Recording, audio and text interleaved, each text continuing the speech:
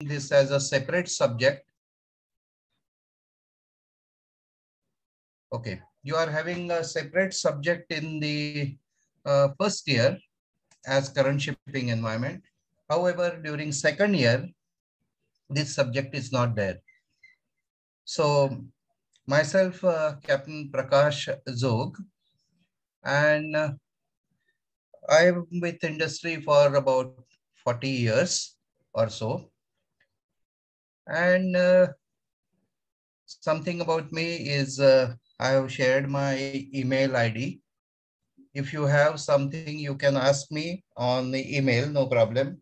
Some of the other time I will see the email, but when you are sending email, just do not just send email and ask questions. You have to introduce yourself first that I am student from first year and I'm uh, mm, in current shipping and uh, with respect to this, uh, uh, I would like to have this. Okay.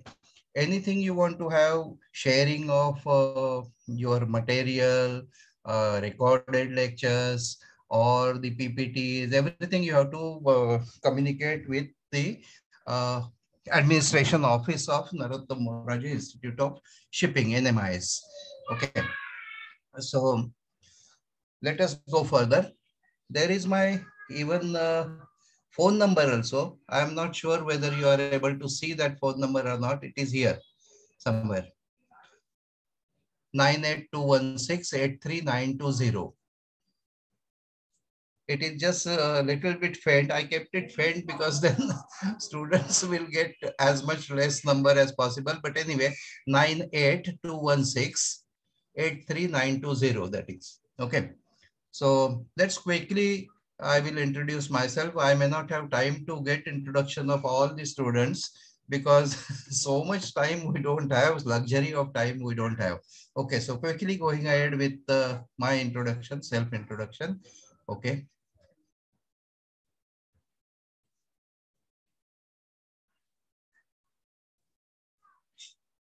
Fun by. Sir. This is not, uh, okay, I will let me check how it is changing. This slide, okay, now it has changed a little bit. Okay.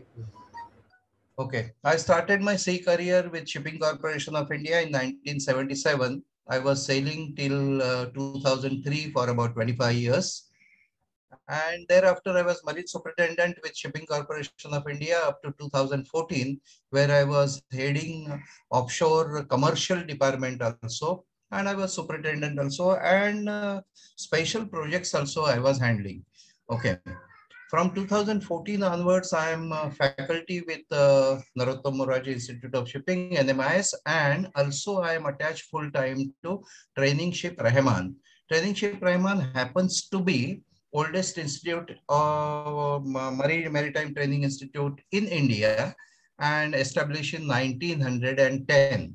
Okay where at any given time more than about 800 students are taking uh, uh, education, maritime education, and who are aspiring candidates to join this C. Okay, I am also certified auditor, lead auditor with ISO 9001-2015 standards and registered with IRQS. Okay, I am also examiner with Mumbai University for BSc Nautical Science I'm uh, also working as consultant during whatever time I get. And I had done two projects. One uh, project uh, I was consultant uh, uh, to government of India uh, after I left SCI. And that was a project in Myanmar, that is Burma. And also I'm salvage expert. Okay. Social service now towards after retirement, what I am doing is uh, career guidance in merchant navy. I give free advices and uh, free uh, lectures on career guidance for last more than 14 years. Okay. This is a felicitation done by Narottam Morarji Institute of Shipping to me in 2016 as uh, their best uh, uh, lecturer or professor. So that is that. Okay. This is now for your guidance of uh, current shipping environment, what we have. We have 12 lectures. 12 lectures means 1.5 hours, two lectures on every Sunday. And such we will have about six Sundays. And if possible, we may get seventh Sunday. Last batch I got seventh Sunday. So total 14 lectures were there.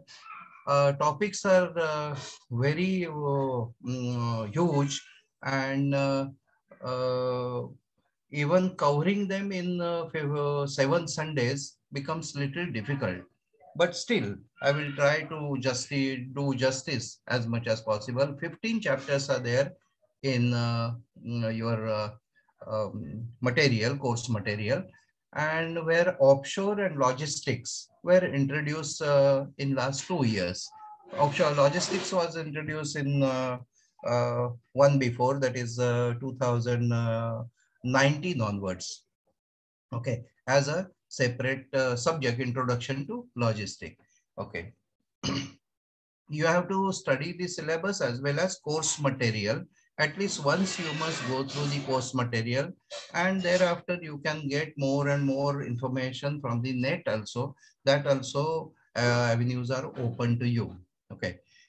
Uh, also, there are many question papers, not only last five years, but uh, your book uh, course material is having more than five years question papers, plus institute will also provide you the many question papers of previous years, which uh, will give you mm, a little idea how is the exams and how to prepare for it.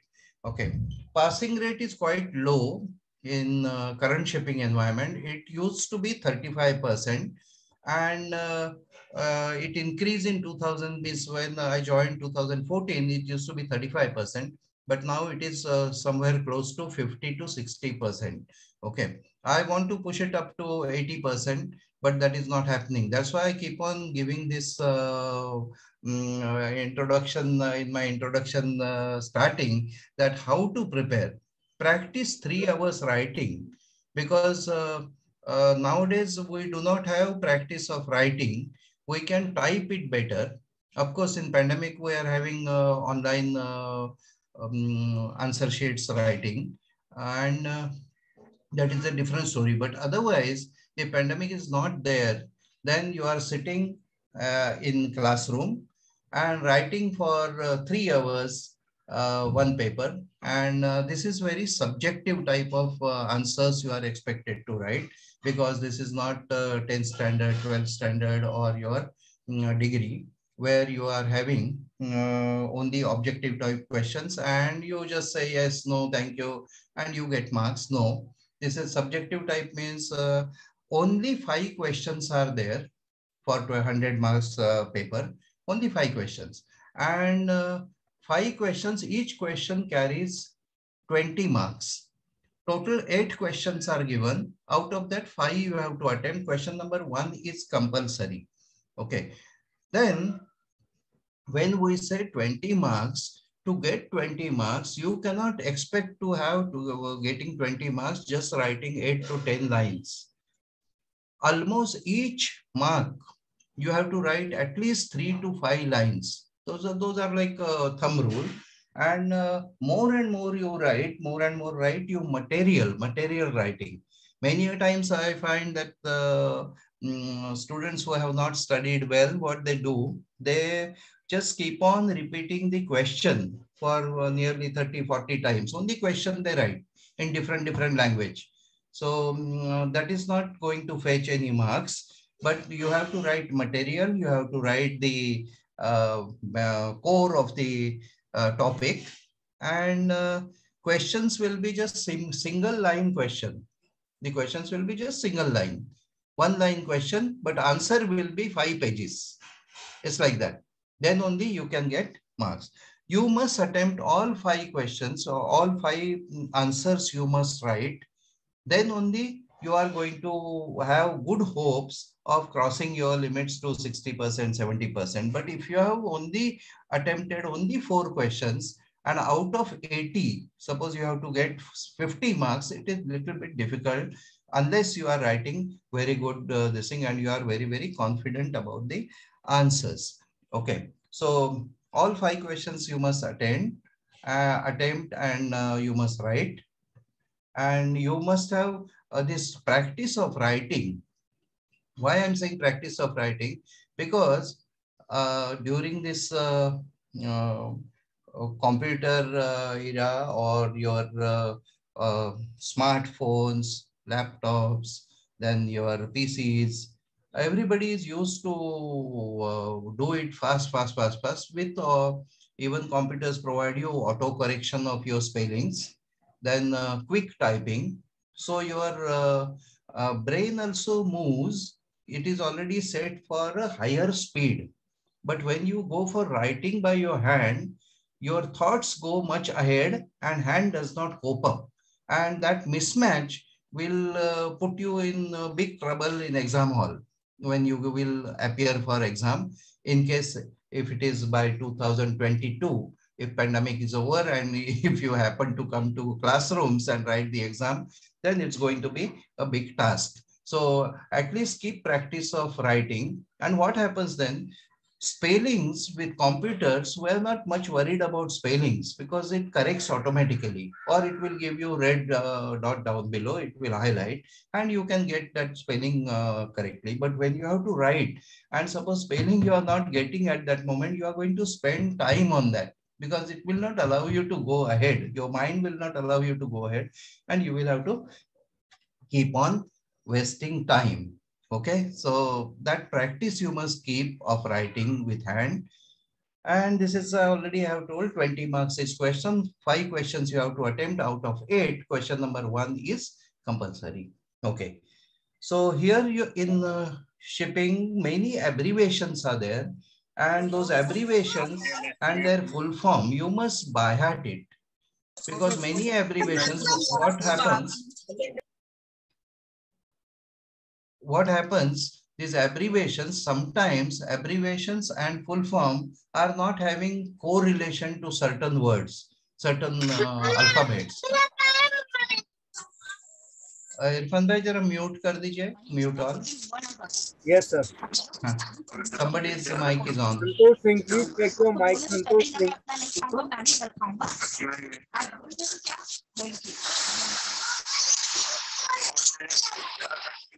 so abbreviations uh, please uh, uh, by heart it uh, like i will tell you like itf itf when we say the full form is international transport workers federation. W is missing from that.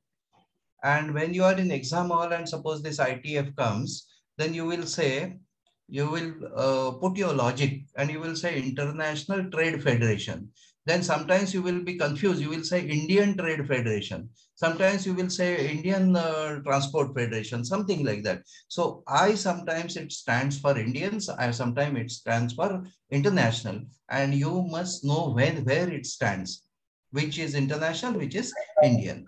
Okay. As we are studying this uh, uh, uh merchant navy topics and the business of transportation.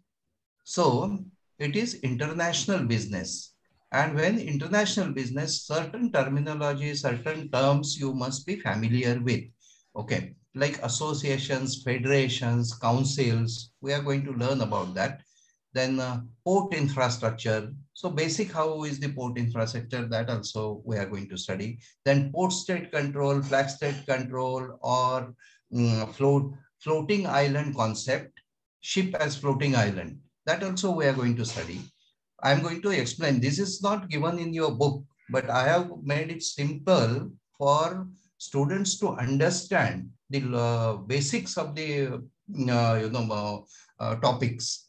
Okay, then you can tell me whether you uh, got the correct uh, understanding or not. Okay, so here in wherever in shipping we will use the word state it is not like state, our states like Gujarat, Maharashtra, Kerala, Madhya Pradesh. It's not like that. State means it's a country. So wherever in shipping state is used, it is a country. Okay, so basics, these things you we must uh, uh, you know uh, note it and make it uh, sure that we understand it and we remember it.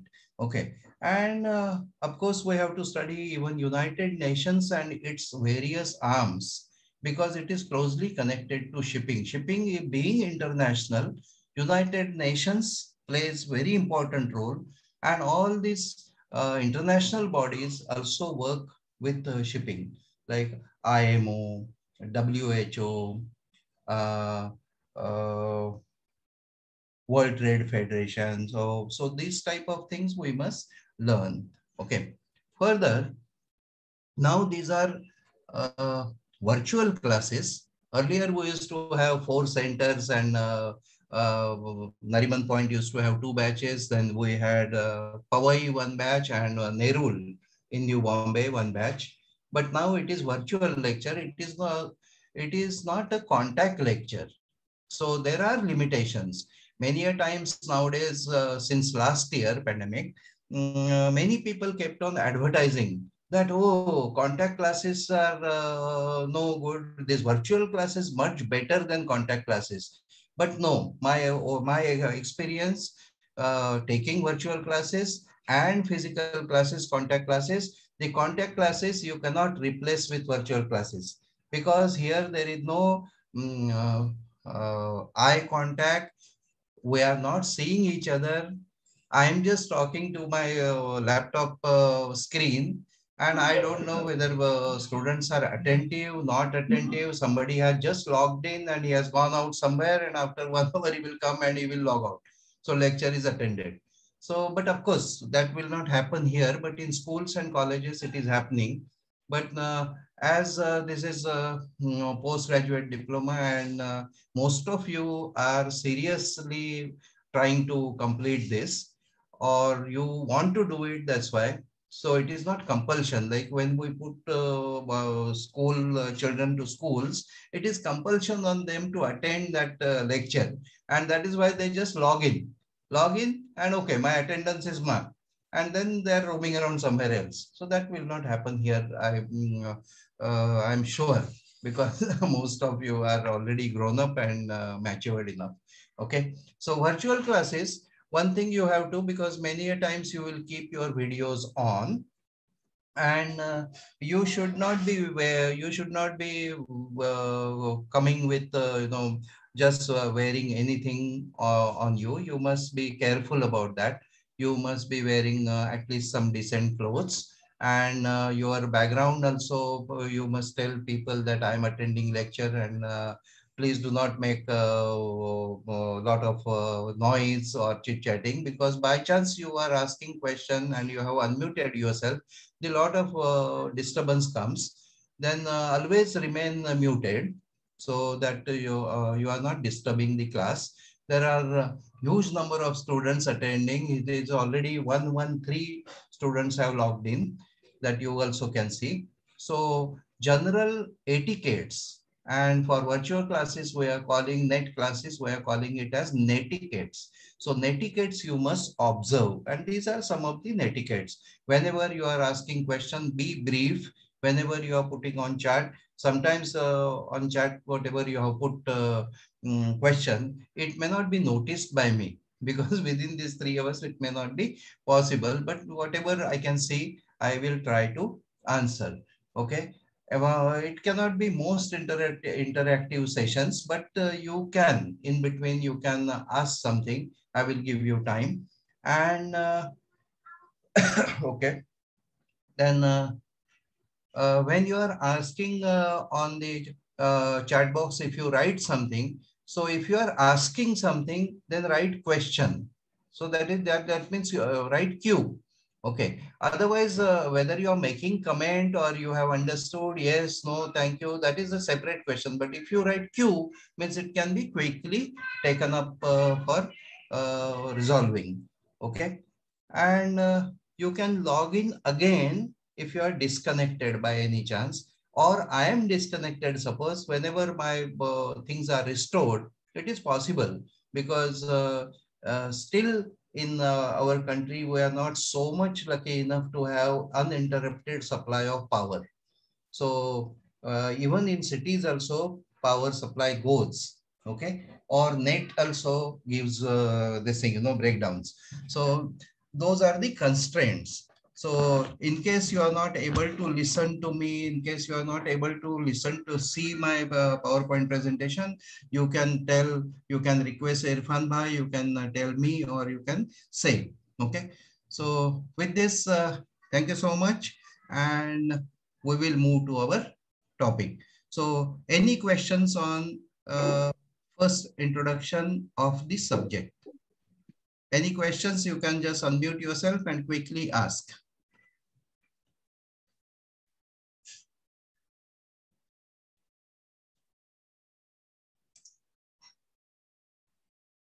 Let me just check. Somebody has written, okay, four chats are there. Uh, why don't you rename your ID? Okay. Click on three dots. Okay. Okay. Okay. So not many chats are there or not no questions are asked or even uh, nobody is speaking or nobody is asking also by unmuting themselves. So anyway, let us move to next our regular lecture and the topic, today's topic. Okay. So today's topic is registrations of ships. This is the name of the topic which we are going to discuss. And registration of ships is definitely similar to what you do registration of other things. Okay, so let us see what it is.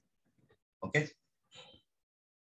In now screen on screen, you can see what are things you can see. House and car.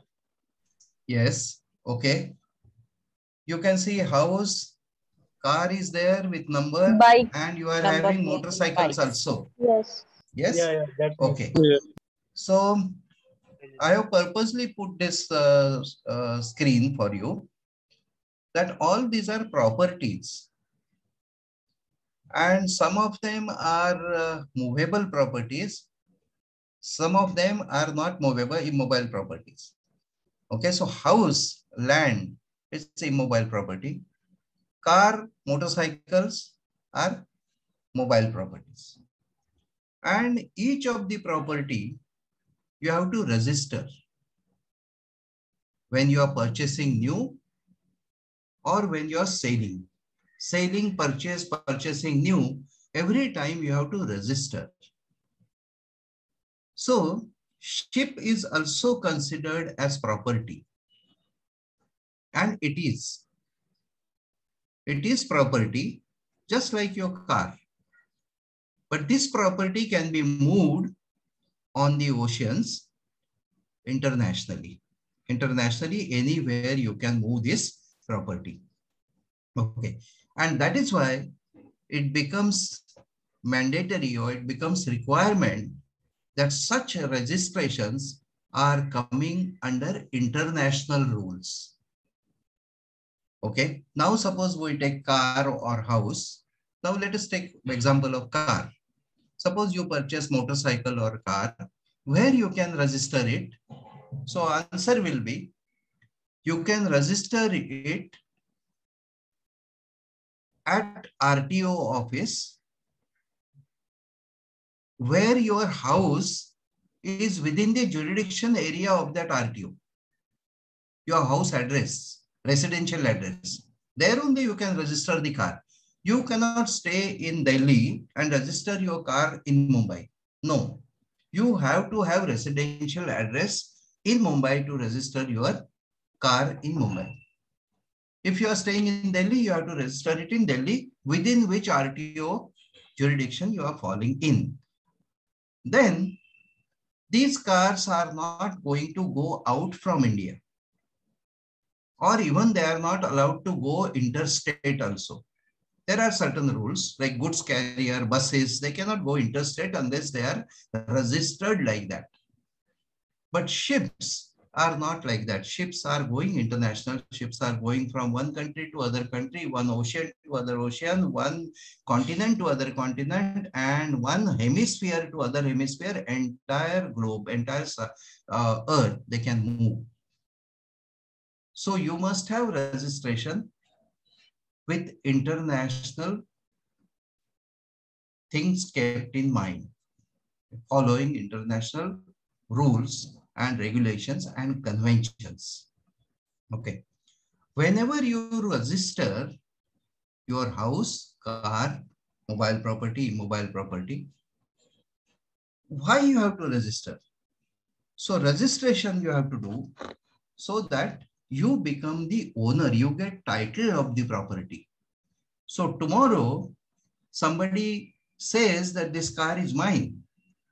Some your neighbor says that this car is mine and I, he will take it. So to say that this is your vehicle, you have to have title. You have to prove that you are owner of the property. And that proving owner of the property is done by registration. So you get registered document as your owner. It, let it be flat, let it be house, let it be land, let it be motorcycles, let it be car. So similarly, ship also same. Ship also, when you register, you become the owner. And by doing this, what, what government gets or what you get, you get, okay, you get one is ownership. What government gets? So government does not do registration free. They will take registration fees. They will take registration fees and stamp duty or whatever other taxes are there that they will take. And this is one of the source of revenue for the governments. So source of revenue and they earn huge amount of money. If property is having high value, then government earns very high revenue. And in turn, what government gives you? Let us take example of cars. What government gives once you register your car? So they will give you a number, registered number for the car. They will give you registration certificate for the car. And then you have to also buy you are bound to comply with rules of that wherever you have registered your property, whatever rules are there, like car, if it has to be every year passing is required, you have to do it. You will get number for the car. You will get registration certificate. And in turn, government gets revenue. Government gets data, how many cars are registered, how many power engines are there in total area, how many vehicles are there, how much big roads are required. Government will build roads for you. Government will put traffic police to control this. Government will open offices for registration, so on and so forth. Or tomorrow, suppose you meet with accident, government will have inquiry and courts to run and resolve the issues. So all these facilities government gives. So similar thing is true for the cars of uh, ships also. Okay. So let us move to next slide. These are the ships in on the screen. And these are different types of ships. This is a bulk carrier ship. Then this is your general cargo ship. This is the reefer carrier, this is container vessel, this is a gas carrier, and this is ro-ro. So different, different types of ships are there. That also you will learn. And all these ships are considered as move, moving property, movable property. And for our, for our understanding or for easy understanding, this property you can take easily. The price of the property is 100 crores. Any ship, small ship, big ship, you can take average price as 100 crores rupees. Some ships maybe price can be 1200 crores, 700 crores, 800 crores. But average price you can take for your calculations. Like tomorrow, suppose you will have to calculate, suppose you have to calculate the standing charges of the ship or how much loan is required for the ship or how much will be outgo on the interest of the banks which are giving you loan. So 100 crore you can take easily. 100 crore rupees is average value of the ship. And when we say 100 crore, and what we are seeing in our earlier picture is car. Car, how much price of the car, average price? Not more than 10 lakhs, maybe 5 lakhs, average price we are saying. Some cars are very expensive, one, 1 crore, 2 crore rupees or so. But average price is about 5 lakh, 5 lakh rupees. Where 5 lakh and where is 100 crore? And if government is going to charge 1% registration fee, 3.5% stamp duty on the properties, so how much ship you are going to get revenue? One ship registered, you will get nearly 5%. So you will get 5 crores at one go. You register one ship in any country, you will get 5 crore. Yes, appreciating? Yes or no? So this is looked as a source of revenue, huge source of revenue by the countries. Okay, at the same time, countries will have laws also. Like car you register, you are having, you are, you have to obey the laws what RTO is making or what state governments or the central government is making. And like every year passing and taking certificate from the people, uh, from the RTO, or taking insurance, or having a registered or licensed driver. So all these things you have to obey and you have to follow. So same thing is true with the ships also. The ships also are having rules and regulations to run the ships and you have to follow them. Okay. So registration wherever you do, you have to follow the rules and regulation of that country as well as as ship is running international, you have to follow the rules which are based on international standards. Okay. So what I explained you, this is the list goes. See, vehicles, registration office, you have to go. Ships also you have to go to registration office you have to go to local nationality, local, and this is only national act activity. But ships, it is international activity. It is not local activity. Okay. Here documentation is required. Here also documentation required. I've just tried to compare registration of vehicles and registration of ships. Okay. Then fees and stamp duty. Here also fees, stamp duty, and one more column added here that is custom duty. Because if ship is manufactured, we will not use henceforth the word manufactured. Because in shipping, we don't say ship is manufactured. Car is manufactured, goods are manufactured, but ship is built. We always say ship is built by shipbuilder. So wherever ship is built, so most of the ships are built in nowadays leading country China, Korea, Japan, and Europe.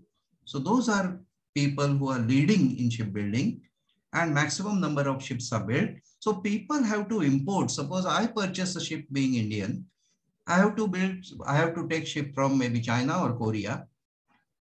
And I bring in this ship, I will have to pay custom duty also. Because I have imported the property. So I have to pay custom duty also. So there, here are three things, fees, stamp duty and custom duty. And custom duty, suppose custom duty, stamp duty, fees of all these things, suppose comprises of 10, 10%. And suppose I import ship which is costing 100 crores, I have to pay immediately when I bring ship, I have to pay 10 crores to government. Yes, so it is expensive business. It is not very uh, easy or very cheap business. Okay. You have to follow when you register vehicles, you have to follow Motor Vehicle Act. Here you have to follow Merchant Shipping Act. We're talking about India and so for the valid for the other countries also. Each country will have different, different uh, their names for the act. But in India, we are saying Merchant Shipping Act. Okay. Vehicles can be registered with RTO, but ships can be registered with Maritime Administration of the country. who is providing this facility of registration of ships. So in India, Government of India, Director General of Shipping, they are providing this facility in wherever it is required. So Mumbai, Calcutta, Cochin, Chennai, ships can be registered.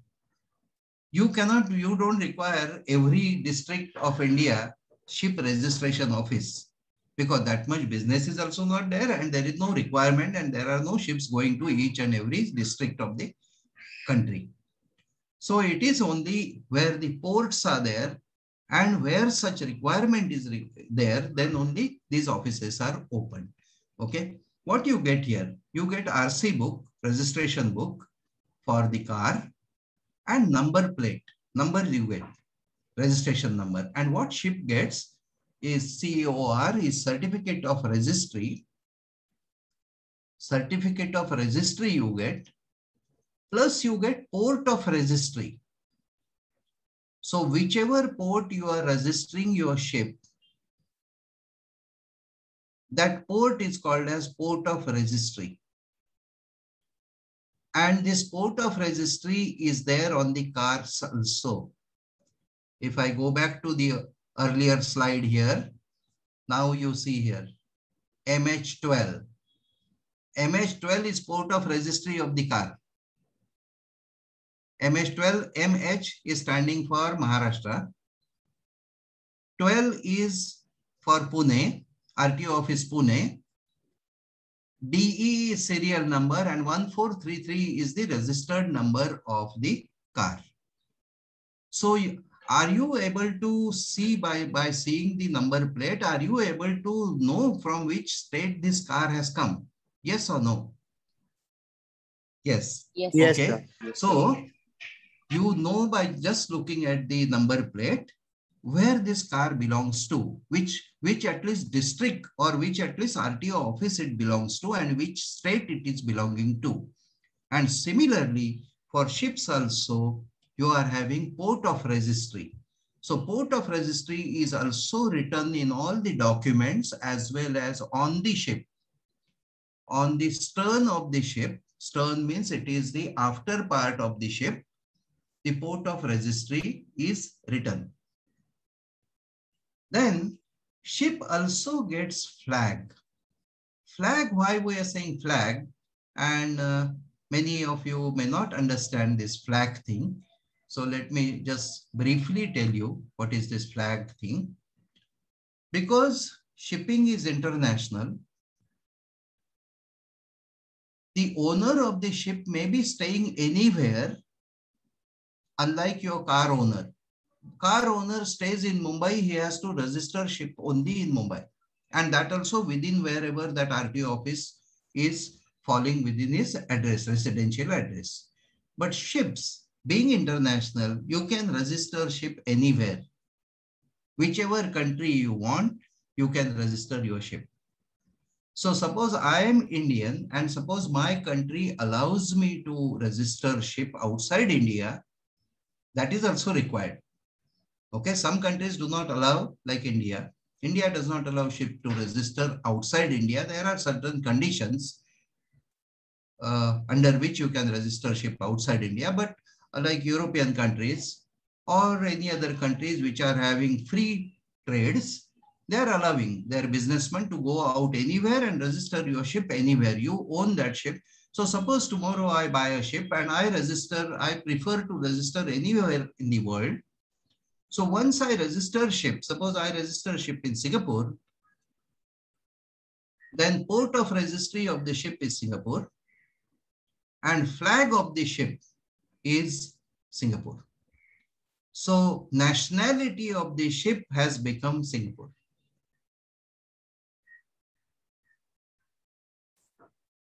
Similarly, as similarly to your car, MH12. So nationality of the car is Pune, Maharashtra, Pune. So where the root Janam Kundli कहाँ लिखा है? तो पुणे में लिखा है महाराष्ट्र में. So similarly, ship's port of registry, if it is Singapore, then flag of the ship is Singapore, nationality of the ship becomes Singapore, and ship's port of registry is Singapore. Certificate of registry is also given by the Singapore registration office. Okay. Let us go further. What you get? Vehicle you register, you get title for the vehicle. Title means its ownership and ship also same same. As soon as you get certificate of registry, certificate of registry will be given on your name with your residential address. But this residential address can be anywhere in the world for the ships. But for vehicles and properties, you have to register these properties and vehicles only where you are staying in your residential area only, not anywhere in India also. But ships, unlike, you can register it anywhere in the world. Okay. Government gets huge revenue and data Data means how many number of cars are registered, how many flats are registered, how many buildings are registered, how many motorcycles are registered. And with this data, government keeps on doing logistics, how what support they can provide to you, what services they can provide to you, they can work on it. Similarly, for ships also, it is a huge revenue generating machine. And many smaller countries which do not have much income they give some special facilities to ship owners and register their ships and make it as revenue model. Okay. They, the data may not be important to them so much as maybe car registration. Suppose you are doing car registration in suppose Delhi. The data is much required for Delhi municipality or Delhi government that how many cars are going to be coming on the road and I have to provide such a width of roads or so much signal, so much police to control this. Okay. Then for vehicles, annual inspection is required or periodical inspection is required, maybe after five years, 10 years, 15 years, whatever rule says. Annual fees also may be possible and taxes also are possible as per the rules. Similar way for ships also annual inspection fees and taxes are coming into play. Okay. This taxes means suppose you are you are registering suppose truck and you are doing business. Suppose I have registered 10 trucks on my name. So income tax authorities also get hint that I am doing business with 10 trucks. I must be earning something and I'm not filing my returns. So they are going to catch on you for taxes. So similarly for ships also taxes are there. But now these annual inspection fees taxes are in the country where ship is registered. It is not where the uh, port, it straight away changes to country. Okay. So after comparing this shore properties and the uh, ship as property, let's move to next one registration of ships in India, property average cost. I'm just giving this example. It is not that 100 crore, any ship you can get with 100 crores. It can be even 1000 crores or more also, but just for your understanding. Okay. If you are Indian national, if you are citizen of India and if you purchase ship, you have to register ship only in India. You cannot register it outside India there are some conditions that you can register that we'll discuss later, but you have to register ship in India and follow the Merchant Shipping Act. That freedom is not given that being Indian, you can register your ship outside India and have level playing field for this business, international business. Okay. Registry for the ships is must if NRT net registered tonnage of the ship is more than 15 tons. This is as per Merchant Shipping Act. Registration rules.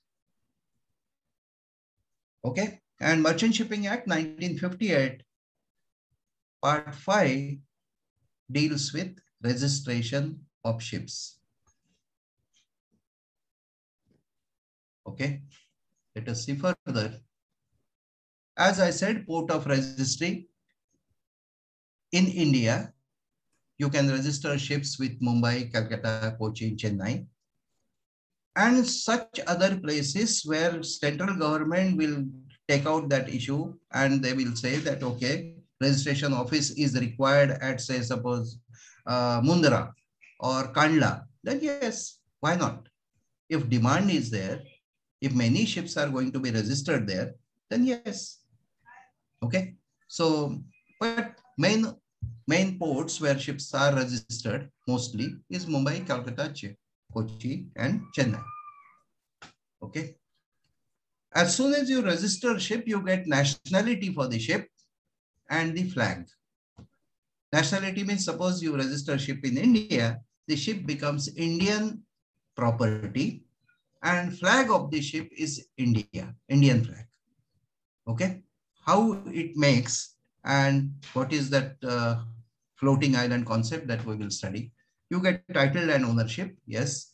And you can then mortgage also because registration is there, then the registration certificate, if bank is giving you loan, it will be mortgage with the loan. It will be mortgage with the bankers. So the bankers are also depending on this registration and little authenticity of the property and the ownership.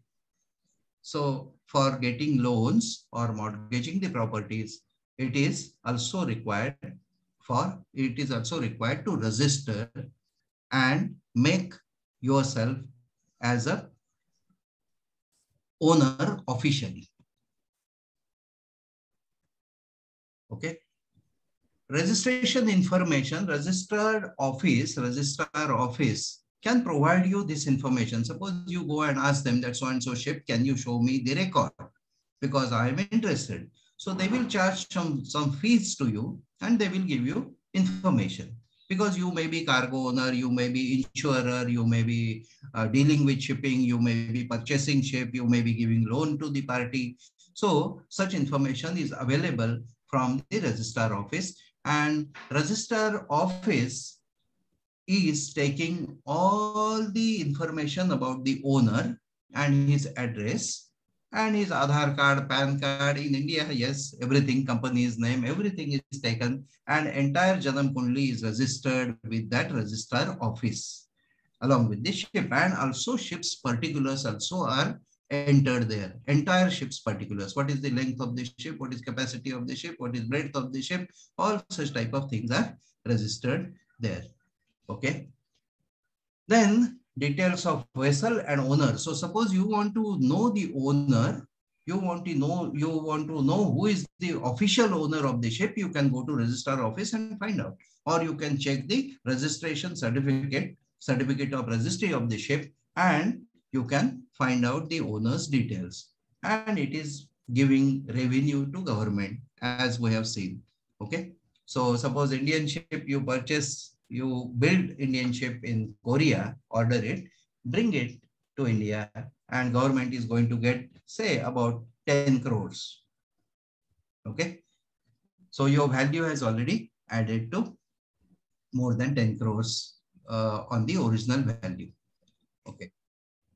So entitlement to all the privileges under Merchant Shipping Act.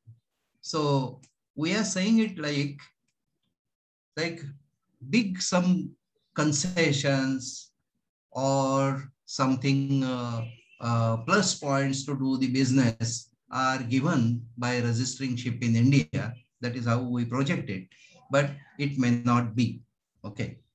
Under the law of the flag, a vessel and its crew are subject to the country whose flag the ship is flying.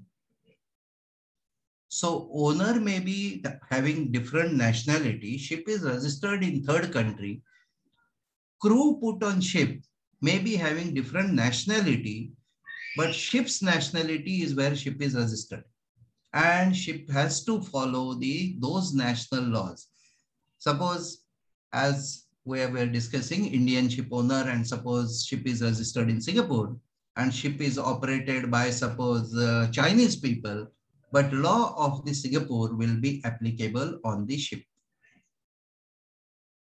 Okay, so ship is flying and conduct of affairs on board is governed by the law of the country. The member of the crew are not in any way control the law of the country of which they are subject. Means suppose tomorrow, suppose ship is registered in Panama and suppose owner is in Europe and ship's captain is Indian, ship does not become Indian or ship rules also on ship are not Indian. It has to be Panamanian because ship is registered in Panama, ship's flag is Panama and ship's nationality remains Panama. Okay, although owner different nationality, captain different nationality, crew different nationality and flying across the world is also in different different nations. Okay. And this is how it looks. This is what I said as stern of the ship here. And uh, this is stern means it's a back side of the ship or from behind how ship will look. This is the name of the ship, Grace 1. This is the name of the ship. Name owner can decide what name he wants to give to the ship. And this is the port of registry, Panama. And this is flag of the ship. So Panama national flag is flown by the ship, although ship may be owned by a Britisher. Crew operating ship may be Indian, including captain, but nationality of the ship is Panamanian. Here you have one more thing written down below is IMO number. Here nowadays you are required to write IMO which is given internationally sequential number. IMO number is written here down below. So like ship, your cars are having registry nameplate. Similarly, ship is also, this is name of the ship, this is port of registry and this is flag of the ship. And this is how ship looks in from stern. Okay, so any ship you look, any ship you see, you will come to know the nationality of the ship where ship is registered. You will not come to know owner's nationality. You will not come to know the captain's nationality. Okay. This is now another example of Indian ship. And this is the stern part of the ship, how ship looks from the stern. Ship is in dry dock. Dry dock means carrying out maintenance. This is the propeller from where the ship is pushed to go through point one, point two. And this is a rudder, which is a steering, steering wheel is on top, but effect is happening here. And this is the Swarna Sindhu is the name of the ship. Port of registry is Mumbai and IMO number is so and so. So this is how it looks. And this is mandatory requirement that each ship must display its name, port of registry and IMO number at the back of the ship stern. Okay, so I think we are almost finishing coming to the end. This is how the certificate of registry looks like. Certificate of registry, which is given. Okay, so how it looks, let us see. This is the name of the ship, SCI Pawan. This is the official number given by the government of India under Merchant Shipping Act for the ship. This is registration is 53 of 2011, 19th October 2011, Mumbai. So in Mumbai, ship is registered and all the details of the ship and owner are given in the certificate of registry. Here, see, this is the name and address of the builder who has built the ship. Who is the builder of the ship? That is also given here. That is Cochin Shipyard Limited. And who is owner of the ship? That is also given here. Where is the owner's name? SCI Kochi were built and owner's name is also given.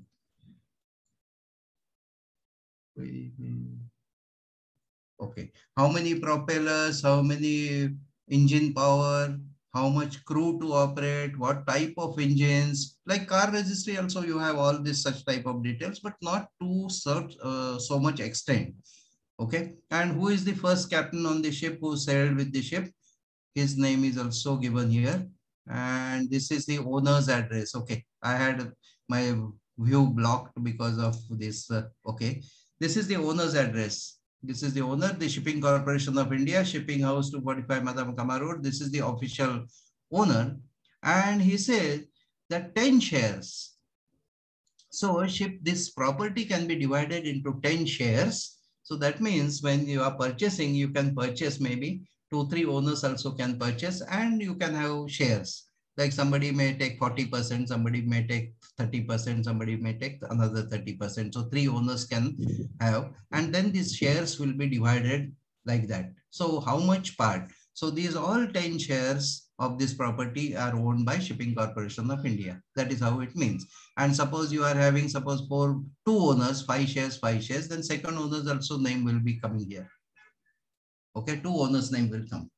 Okay. And this is Register of Indian Ships, Mumbai. And this is the stamp, Government of India stamp, and this is signature. And this is how they, and also here, see these tonnages are given, gross tonnage 2067, registered tonnage 704. Why all such information is given? Because on this tonnage, on this tonnages, whenever ship goes into port, all the charges are depending that how much charges means rental charges for the berth, rental charges for the pilotage, rental charges for the uh, using the port facility, those will be levied as per this. Not how much cargo. You may bring one ton of cargo, you may bring one lakh tons of cargo, but you will have to pay as per your capacity of the ship. Okay, so gross tonnage and net tonnage. Okay, so this is a sample of the uh, port of registry. Here the call sign of the ship. Here there is official number which is given by government of India and also one more number is given internationally as IMO number. Okay. Any uh, brief significance of official number? Yes. So we have almost completed the registration of ships. I hope you have understood. Further, we are going to study about international registries and flag of convenience. Any questions? I will give you small time for question answer session. Any questions, student? Yes, sir. Any any uh, brief significance of official number? Uh, yes, please. Yeah. Can you hear me, sir? Yes. Okay. Uh, sir, a small uh, brief significance any uh, any for official number. Why official number is required? Official number uh, is given. See, name is given by owner, so that freedom you have. That name you can give. And uh, official number is for all official purpose that uh, what is the number of the ship. Suppose tomorrow accident takes place, because name can keep on changing when ship is sold. ship is sold also by ownership is changing. But official number, if it is going to be Indian ship only, the official number will not change. And that but, is but IMO number the... is also not changing now. IMO one? number also doesn't. Yes, IMO Even number, the IMO number international purpose. One is international purpose, one is national purpose. So every every country has official number given to its uh, ships registered. It can be. I will not say it is mandatory requirement. Countries can decide whether they want to give official number or they want to give something else.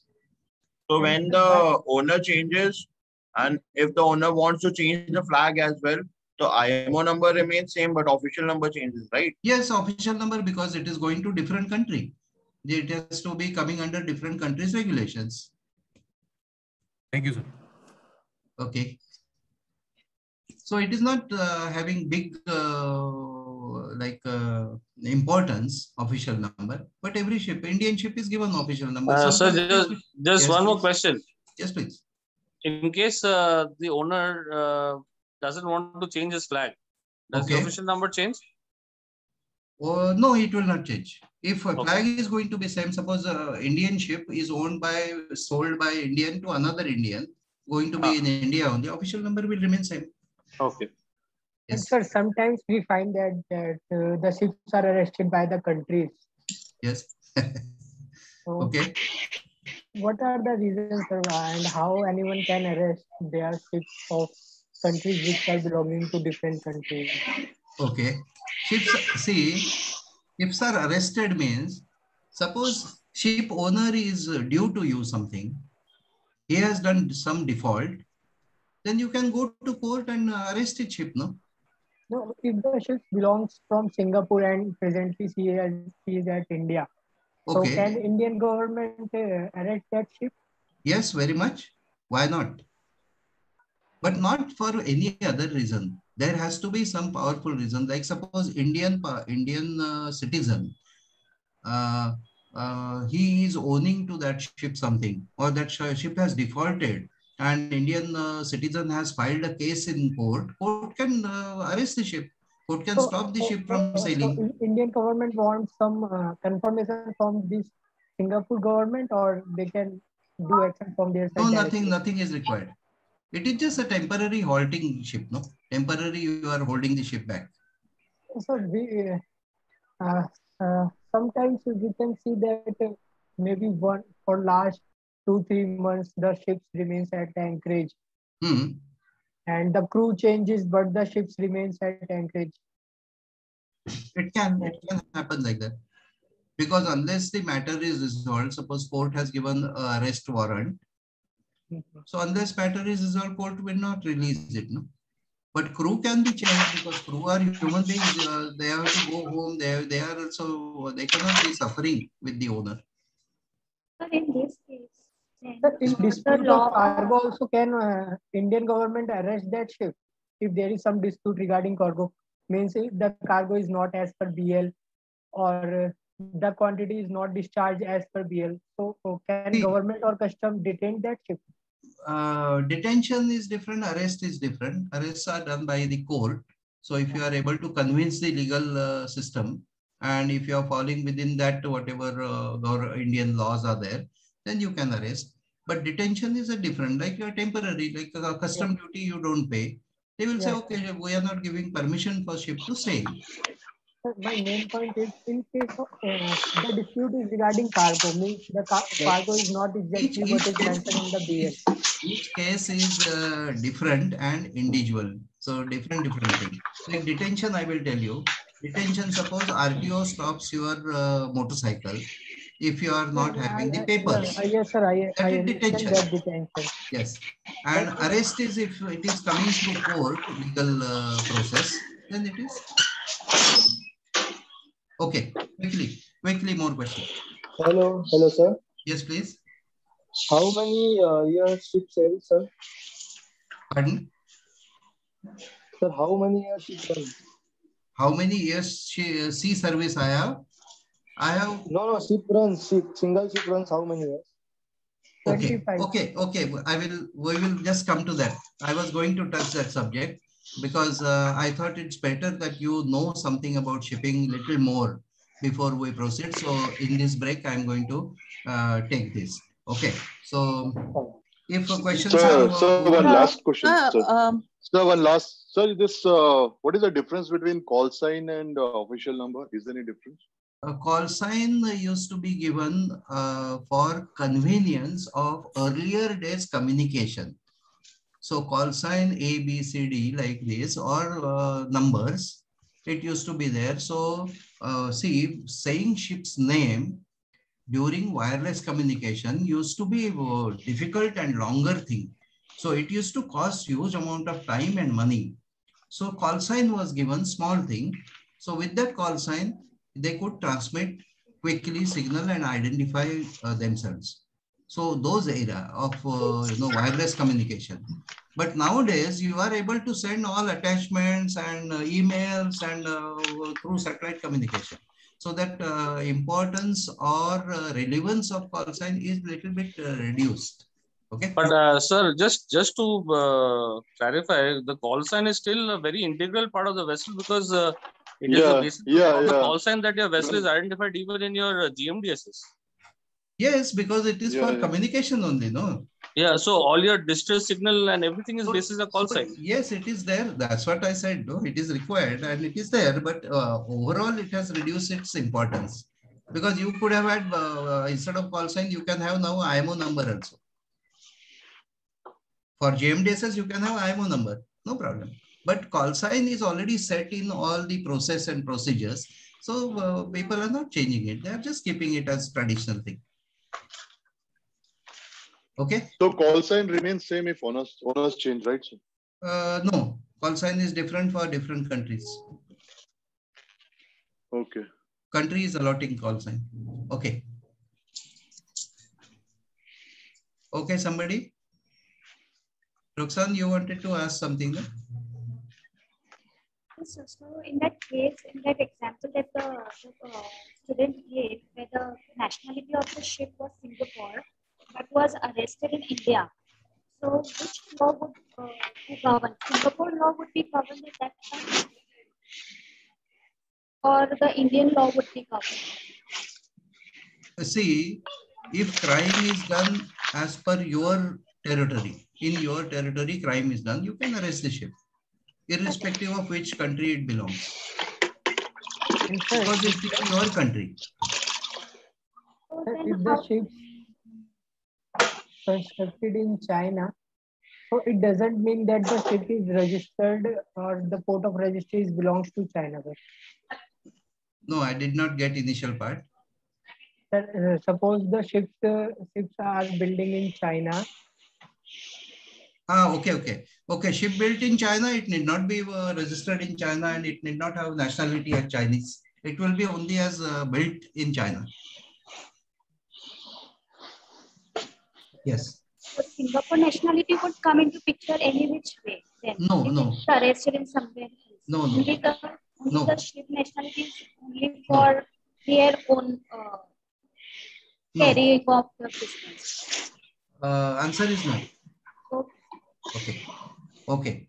So please uh, mute yourself again and we will have break at 11.30 for another 10 minutes or so. So before that and before touching next subject of flag of convenience on the registry only or open registry, I would like to give you and the students who are not so much familiar with the shipping or who are also familiar with the shipping some important aspects or which uh, uh, facts you must remember throughout so that you can write it with yourself or you can write it in your uh, answers in any subject, whichever subject you are uh, going to write answers. Okay, first and foremost, shipping business, ships use very raw fuel, raw fuel just one grade above dambar. Dambar means tar. Tar what we use for making roads, just before that one product is there, that is called heavy oil. So heavy oil is used for propulsion on ships and it is cheapest. Heavy oil is cheaper, cheaper than, much, much cheaper than your diesel oil or petrol or aviation fuel. So transportation of goods become cheaper.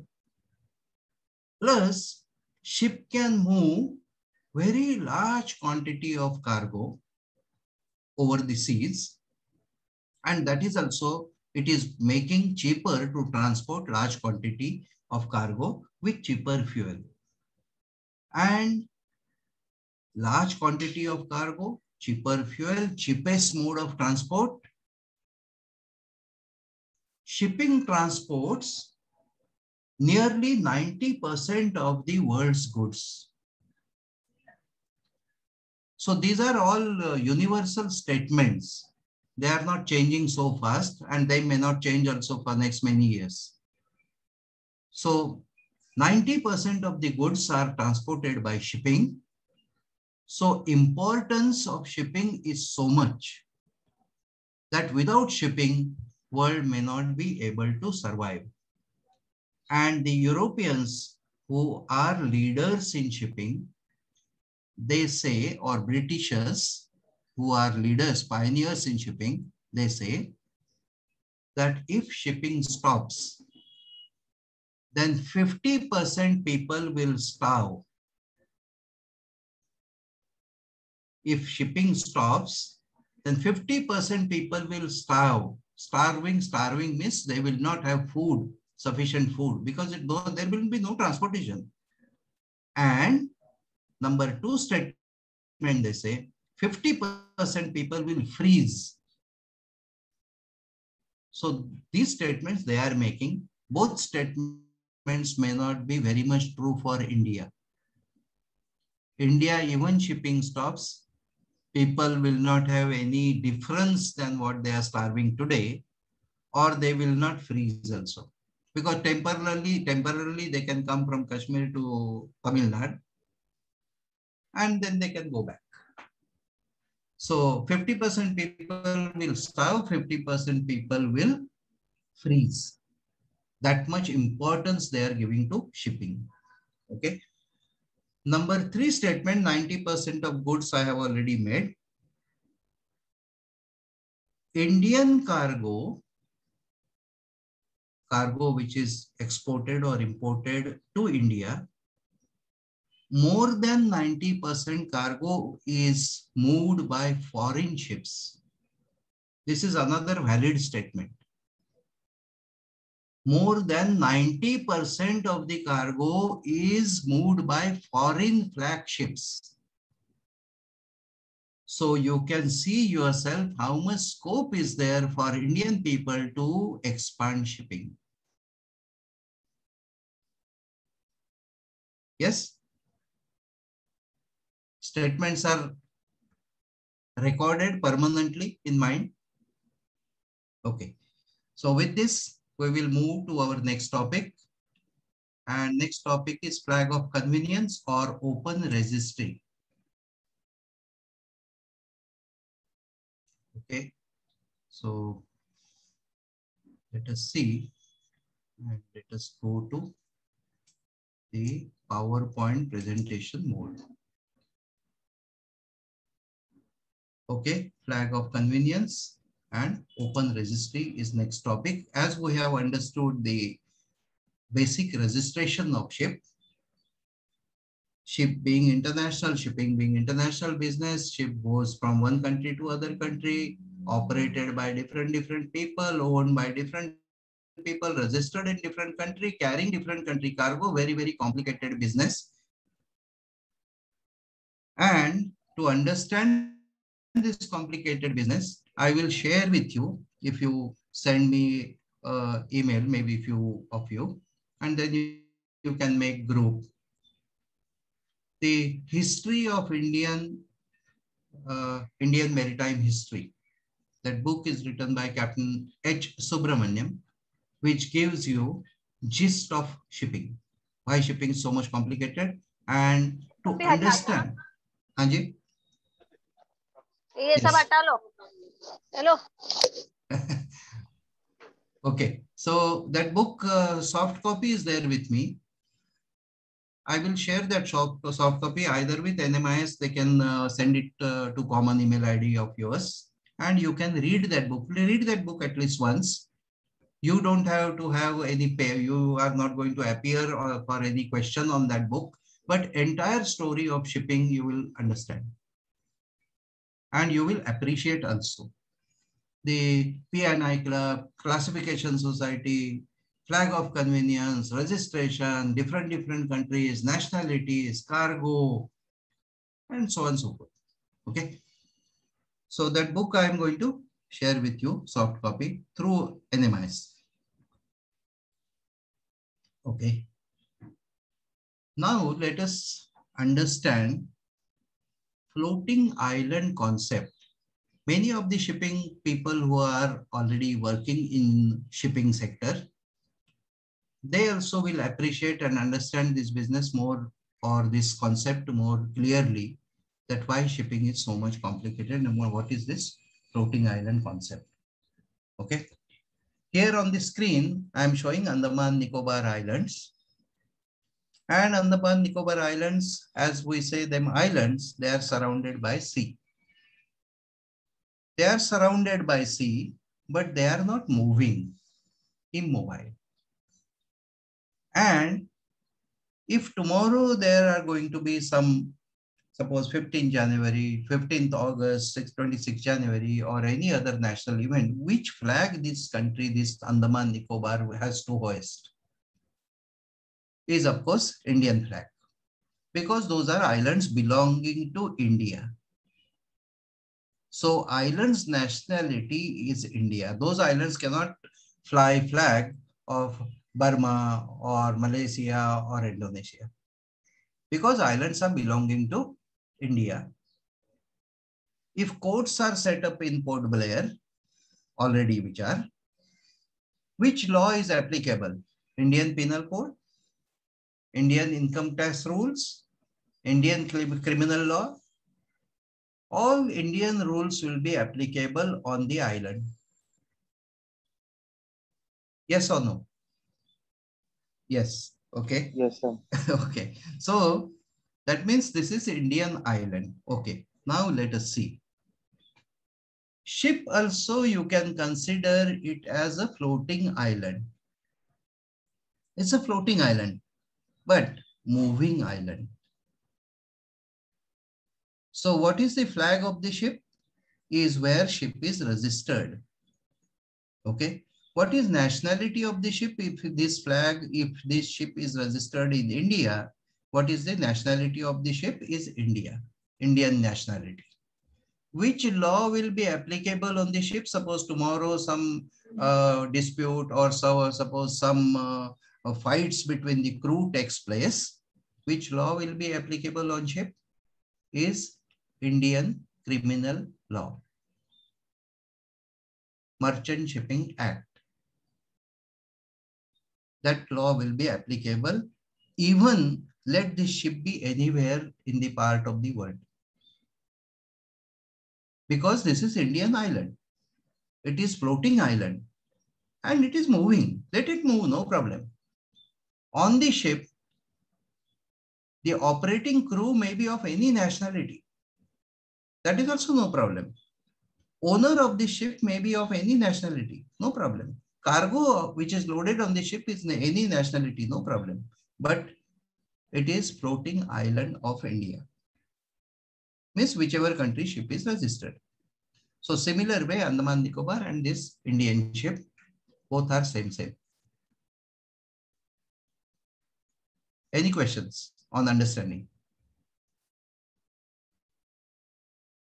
Okay.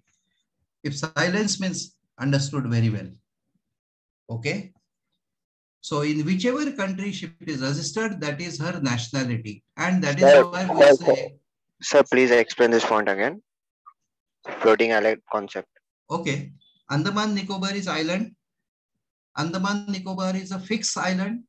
This island belongs to India. And Andaman Nicobar flies Indian flag.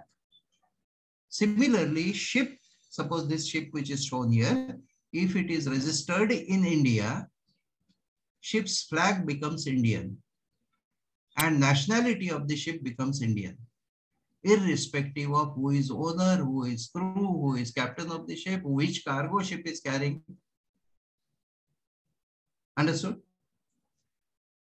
So Yes, nat- nationality of the ship is depending where the ship is registered. And after registry, then we are saying this is flag of the ship. Flag means the nationality of the ship. So in shipping, this term is very much used as flag. Which flag? Any ship, suppose uh, tomorrow some ship is coming, XYZ ship is coming in Mumbai, they will say, oh, which flag ship is? Then you will say, oh, this ship is Marshall Island, Marshall Island flag. This ship is Hong Kong flag. This ship is Panama flag. This ship is Indian flag. So everything changes immediately as per the flag. Okay. So let us proceed further. Under Geneva Convention on High Seas, 1958, this is the international convention. We will study that what is convention and what is uh, other regulations and all little later. But under Geneva Convention on High Seas, 1958, each state, now this we are saying here state, and this state means country. Each country shall fix the conditions for the granting of its nationality to the ships. So government must be also agreeable that this is my floating island and they must have some conditions that this ship is going to be our own nationality. Okay. For registration of ships in its territory and for right to flag its flag, uh, right to fly its flag. So when suppose tomorrow some foreigner comes to India and he says, I want to register ship in Mumbai, the government of India also must have some rules that this ship is going to be a Indian flag and give him the right to fly the flag. Okay. And such things are given as country is benefiting with revenue, huge revenue. Like your Choksi, you know Mehul Choksi? Yes, some of you must be remembering banks, bank frauds and Nirav Modi, Mehul Choksi, all this. So Mehul Choksi has taken a nationality of some different country. He has surrendered Indian nationality to government of India. He said, I don't want to be Indian. And he has taken different nationality and now Indian laws are not applicable on him. he is enjoying the nationality of different country and India has to obtain permission that please give your citizen who was our citizen earlier who has committed fraud, please hand over to him. And that country is giving him protection and not handing over to him to India for further processing his cases. Why? Why that country will do that? Just for revenue. Appreciating the fact or not? Yes. Yes or no? So there, every time country wants to suppose reject his uh, bail uh, uh, uh, handing over application, they are going to tell him, okay, shell out some few million dollars. Then only we are going, we are going to give you protection here.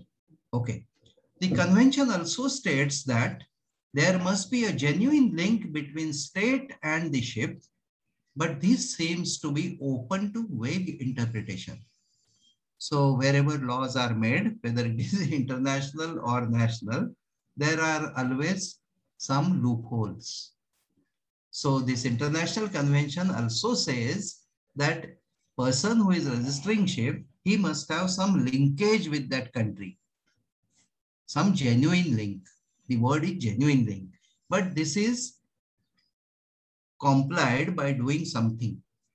By doing something and then something is revenue.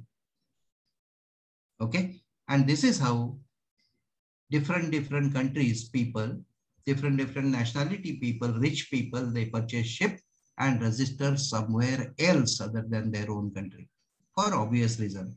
Like same how Mehul Choksi has taken the citizenship of other country. Same way. Okay. So, okay. Let us see further. Flag of convenience is a system whereby a country allows ships to register there and flag the fly the country's flag without real owner having it.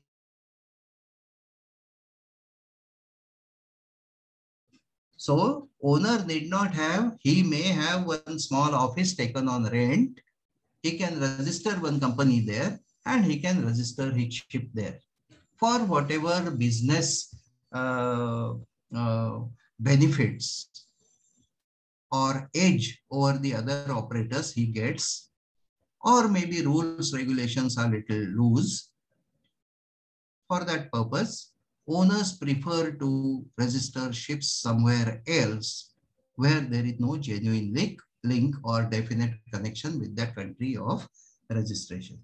Okay, and this is called as flag of convenience, means you are taking a flag for the ship, you are taking a nationality for the ship at for convenience. So same example I'm giving of Mehul Choksi. It is con for convenience, citizenship is taken of that country. Okay. So we will proceed further. And I think we will take a break before we, start this because I don't want to uh, have it halfway. So we will take a break now and we will join back at 1140, 1140. Okay. So thank you so much for patiently, patiently listening to me and uh, asking me questions for clarifications. So thank you so much. Join back at 1140. Uh, yes. Good morning, boys and girls, and welcome back for the second part or the Good morning, second lecture, second lecture of today. And like this, you are going to have another 10 lectures. This is this is going to be second 10 lectures or if possible 12 lectures. Okay. To add to earlier flag of convenience or flag of the country floating island, to add some more information, see how it happens. The flag of the ship, when we say it is a floating island, suppose now Panama flag ship comes to Mumbai. Okay. Owner may be Indian, maybe. Okay. Captain also may be on the ship Indian, but ship's flag is Panama. Ship comes to India in Mumbai and suppose ship comes alongside. So jetty belongs to whom? Jetty means the where ship is tied up. Mumbai port. That belongs to whom? India. India. That is Indian Indian uh, flag. Ship is having which flag? Panama. Panama. So ship and the jetty, where ship has come alongside on the jetty, become two international borders. So this concept is very, very important to understand. So two international borders are there. And that is why you require ports, all ports to be treated as restricted area all ports are having central security, including armed forces. Armed forces means armed, maybe uh, not watchmen, they're not watchmen, maybe uh, CISF, or maybe Coast Guard, or maybe Navy. So all ports are protected like that because that is international border. And all the dealing with the ship dealing with the ship will be with that consideration that this ship belongs to so and so country. So people on the ship require stamping on their passport. Cargo is coming from some different country, requires some different uh, clearances. Security also is required to be different to international standard. Same like where you are having border, international borders, whatever security you have, whatever guarding you have, whatever uh, protection you must provide. So same protection is required to be provided where this floating island has come of some different country. Okay, this is temporary affair, but it happens. Okay, and that is why all ports are considered. You require special passes, special permissions, special uh, uh, security to go on ship it is not open to general public. And people who are coming from the ship, whatever cargo is coming by the ship has to be totally tallied what comes in and what goes out. The people who are coming in, all the people must leave the country because they are coming from foreign, foreign island. They are living in foreign island. And even suppose Indian people are there on the ship, when they come in, they are treated same as airport would treat them. And on airport, like you will have to go through immigration, you will have to go through stamping of your passport, inward, outward. So same procedure is followed even in ports. And that is how this because of flag of uh, your floating island concept. Okay. So this point I wanted to make it clear about floating island. One more point also uh, was there in my mind to tell you, but uh, I am not able to recollect now that point. Anyway, we will proceed with our next uh, flag of convenience.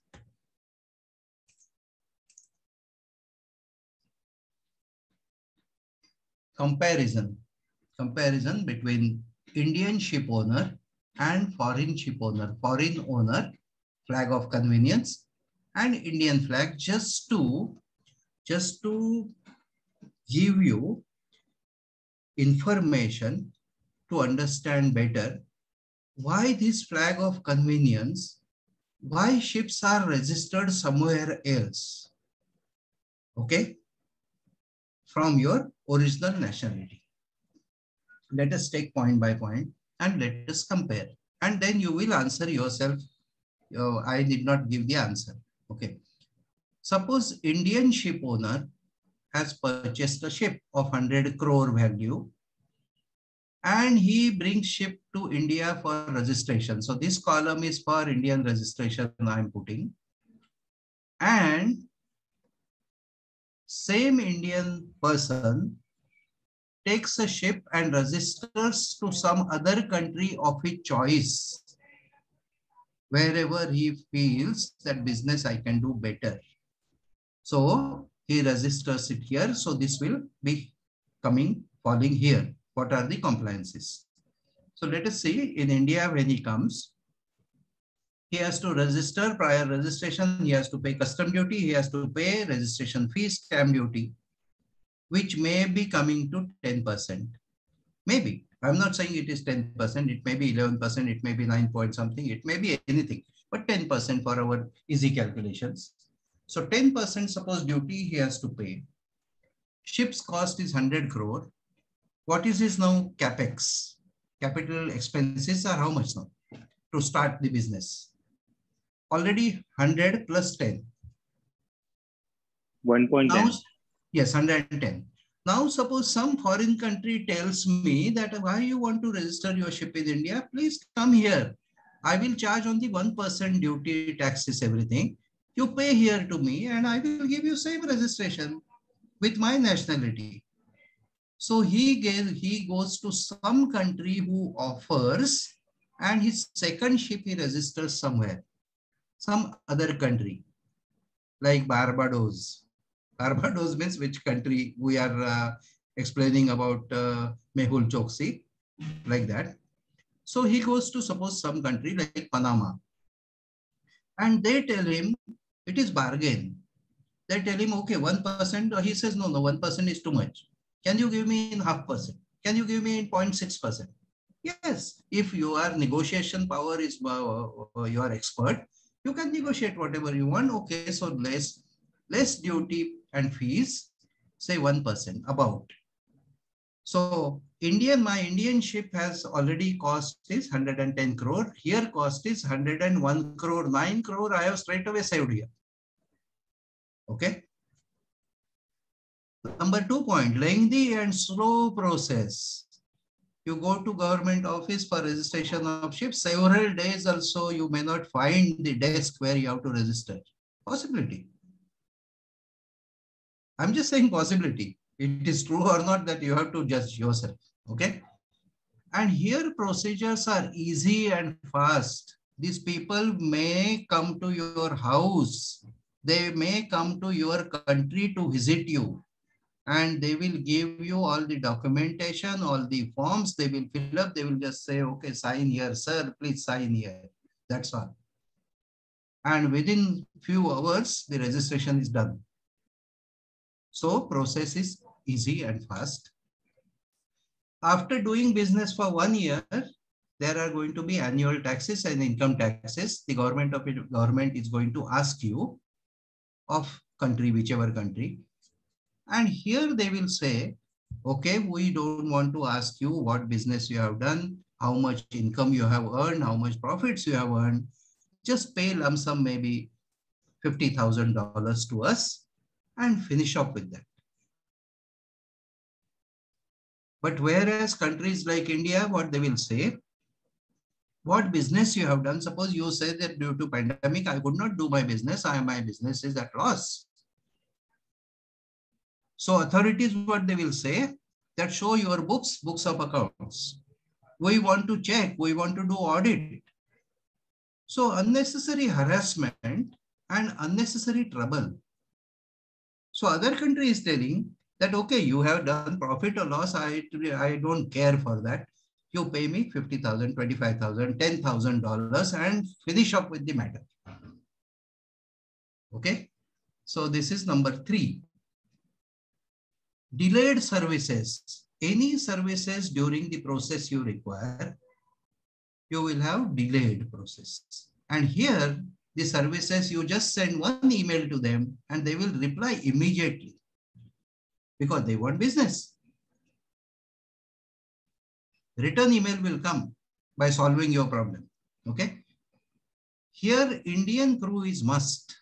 You have to man ships with Indian crew. And this ship, I can man with any crew from the world.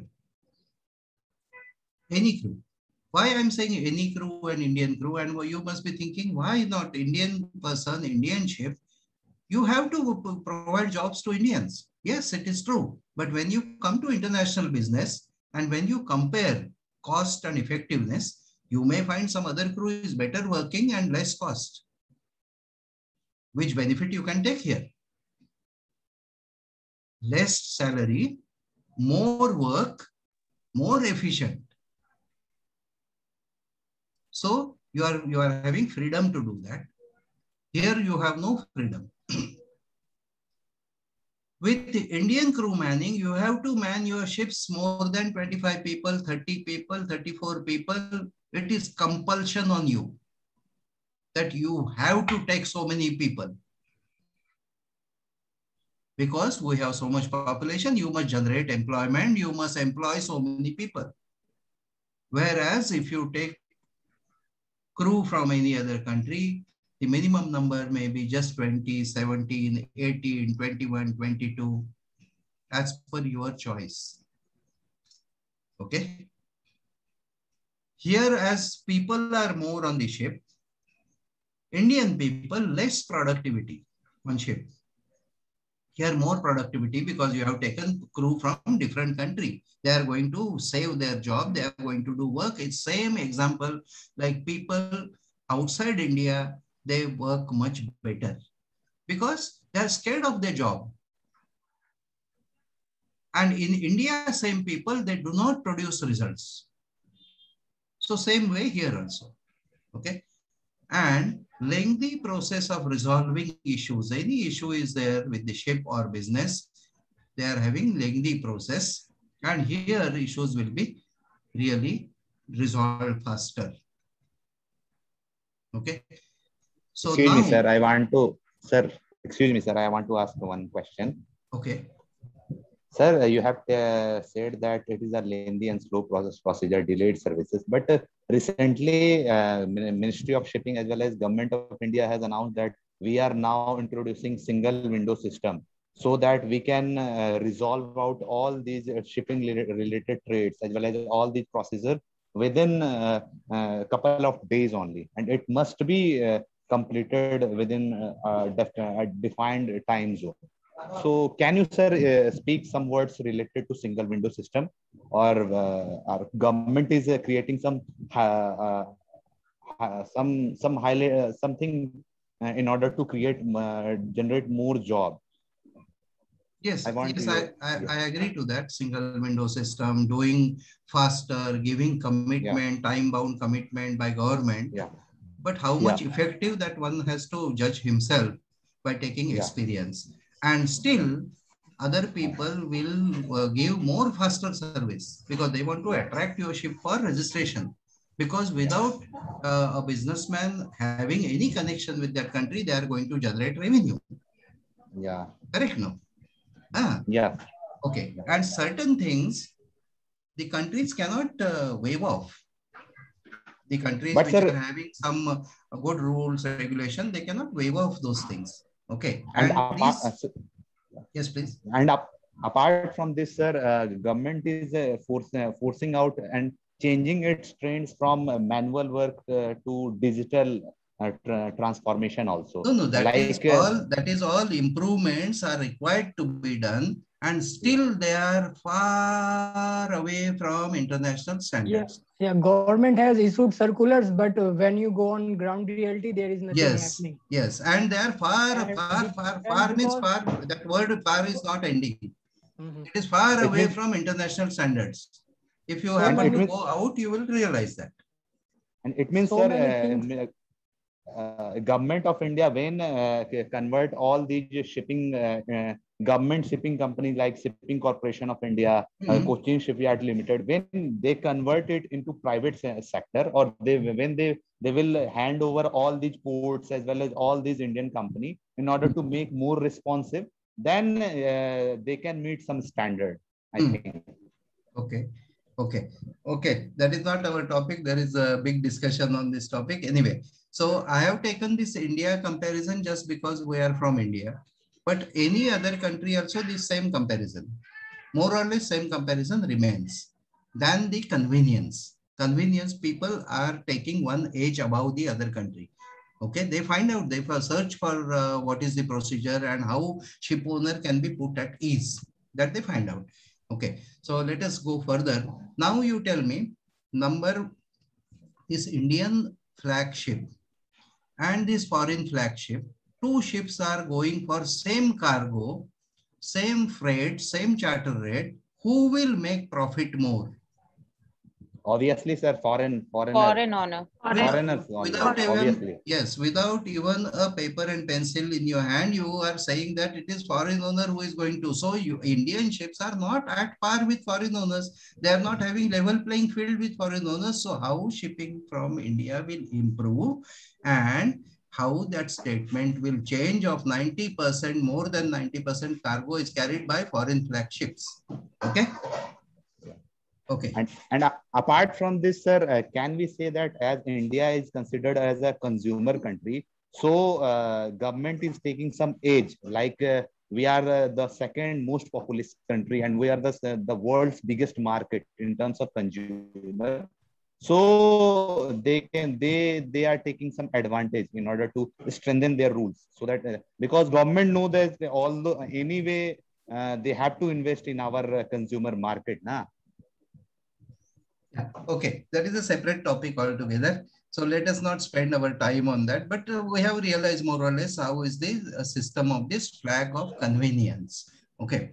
Now, flag of convenience or open registry or flag of necessity. This is known by three names, flag of convenience, FOC, or open registry or flag of necessity as they are usually called in order to give a semblance of respectability to the ships have today become one of the most serious problem in international maritime transport. Okay, so this is a statement means such ships are posing threat or they are posing danger to the world. Okay, danger to business or international maritime transport sector. Okay, why, how we are going to discuss. Many countries tend to allow and encourage the registration of foreign owned ships. So many small, small countries who are not having any connection, who are not having any cargo for export import, still they will attract people to register ships by giving them so many facilities and give them so many facilities so that they earn more profit and country also benefits as revenue. Okay, this all started, this flag of convenience started in 1920. So already about 100 years back. Okay, and it widespread only after Liberia joined the group of flag of convenience from 1940. Okay, so after 1940, Second World War, around that time, this started increasing this registration of ships outside your own country. Okay, let us see. By transfer transferring the ship from genuine national register to a FOC register, an owner of owner runs away from taxation. safety regulations, and most important, from trade union organization. So unions, labor unions, taxation of the country, and regulations, safety regulations, where they can be given little uh, less uh, uh, uh, less uh, compliance is okay with flag of convenience countries. Okay, so that is why owners are also getting attracted towards that. And this is a source of revenue for the countries which are attracting ship owners to register their ships as a income for the country. Okay. So let us see advantages. What are advantages to a owner, ship owner, when he registers his ship as a flag of convenience? Low taxation, that we have seen already. Flexibility to operate with multinational crew, which reduction of cost. Reduction of cost and more effective crew on ship. Okay. Greater op operational freedom so they are having more freedom to operate without much hurdles. Okay. Then procedure for amendment or change in ownership very fast. So suppose you want to sell the ship, you want to sell the ship to second owner, it is very fast. Overnight you can do it. Okay. Then fewer government impose regulations or restrictions. These countries will not impose which are uh, restrictions to the ship owner, which are hurdles for his business. They will resolve your hurdles. They will solve your hurdles so that you do quick business. No strong trade unions to obstacle ship owners. So strong trade unions are, so like suppose Indian owned ship, Indian crew on ship, Indian officers on ship, all Indian uh, labor unions will be having control so one is large number of crew. They will not be performing better and they will be every time coming out with rules and regulation. Okay. Then convenient avenue for countries to raise foreign currency. So like countries like Panama or Singapore or Marshall Island, they can earn, they can get a lot of foreign exchange through such registration of ships. Then easy procedure for registration. Easy procedure means suppose that country's representative is going to come to your house and give you registration by doing nothing, just by paying fees, then why not? So it is so much easy. Okay, so these are advantages. Now let us see what are the disadvantages of having such type of thing. So disadvantages are no effective machinery to enforce international safety regulation. This is okay, little difficult for understanding. Okay, we'll come to this little later. Okay, then, okay, this is very easy to understand. The whatever his uh, accident history or marine casualty, if you analyze, then flag of convenience ships are having more record of accidents, marine accidents, the involvement of the ships with flag of convenience is more. That data speaks. It is not some statement made by somebody, it data speaks. Okay. Then investigation carried out by FOC are little just to complete the COVID batch. Will not just. Yes. Okay. So investigation by flag of convenience countries not thorough and rigorous. Because see what happens, suppose accident has taken place and they want to do investigation. Just because international community uh, uh, international uh, community is forcing them to have a, investigations. So those investigations will be just for uh, paper paper sake. They will not be going to root cause. Because why? Because ship actually it is not belonging to that country. Actually, crew is not belonging to that country. Cargo is not belonging to that country. Business is not belonging to that country. It is only that registration and annual fees what is paying. That's all. So suppose tomorrow on a ship, suppose Indian crew is there and suppose somebody goes missing or somebody dies. is that government going to spend a lot of time and lot of money on this for investigation? Answer is no. So such things, investigations are not rigorous. But suppose on an Indian ship, suppose one crew dies on ship, the ship will be here in port for maybe eight, 10 days for investigation and police and uh, governmental agencies visiting and filing cases. That will not happen with flag of convenience. Okay. Difficulty in recovery, recovering claims. So insurance companies also will say, you have registered your ship to flag of convenience for business. Accident record as it is is more of those ships.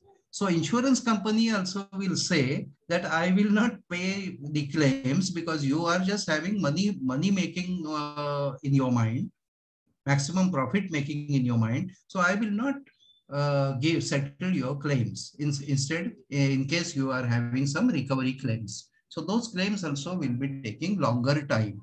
Okay. Or sometimes no also. then prone to frequent inspections at various ports. So when you say this casualty record is high of such uh, ships, and suppose tomorrow, suppose casualty record, suppose Panama ships are flag of convenience, and government of India thinks that why such ships should come and go easily from India, they can keep on inspecting the ships for compliance to international standards, knowing fully well that the ships can be making accident. So developed countries will keep on having inspections on these ships, various inspections, okay, for international compliance, which, which the government where the ship is registered, they should have done it. But they will not be doing it because they are not having such machinery with them. So, so much machinery and they are not spending so much money on them. Okay. So that's why frequent inspections. Multinational crew, difficulty to communicate. Multinational crew means such people, they may say, okay, we will have two Europeans to control people or down below. Then maybe officers we will have who are English speaking Indian officers. And maybe few people from Bangladesh, few people from Sri Lanka, few people from maybe Philippines and China or Russia. So there may be easily six, seven nationality people on board. And during emergency, during crisis, they may not be able to communicate with each other properly. Okay, language difficulty. They are working together, but there is a language difficulty. No support from governments for subsidies or finances.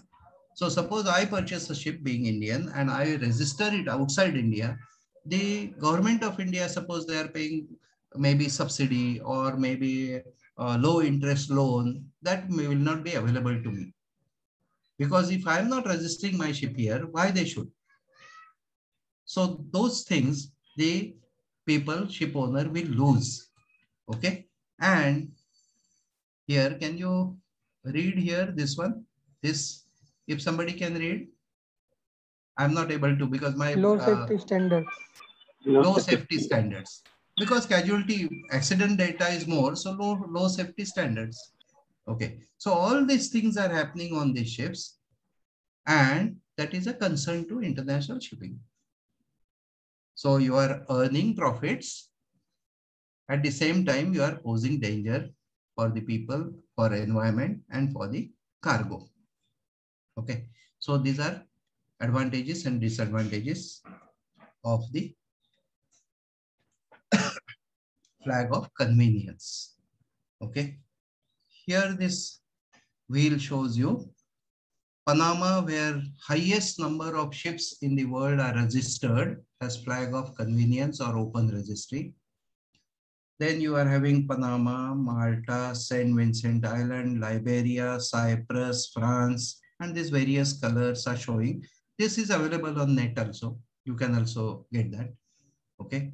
And flag of convenience in 2009, accounting for almost 55% of the entire world's fleet. So more than 50% ships are registered at some different places where at the convenience of the ship owners to earn more profit.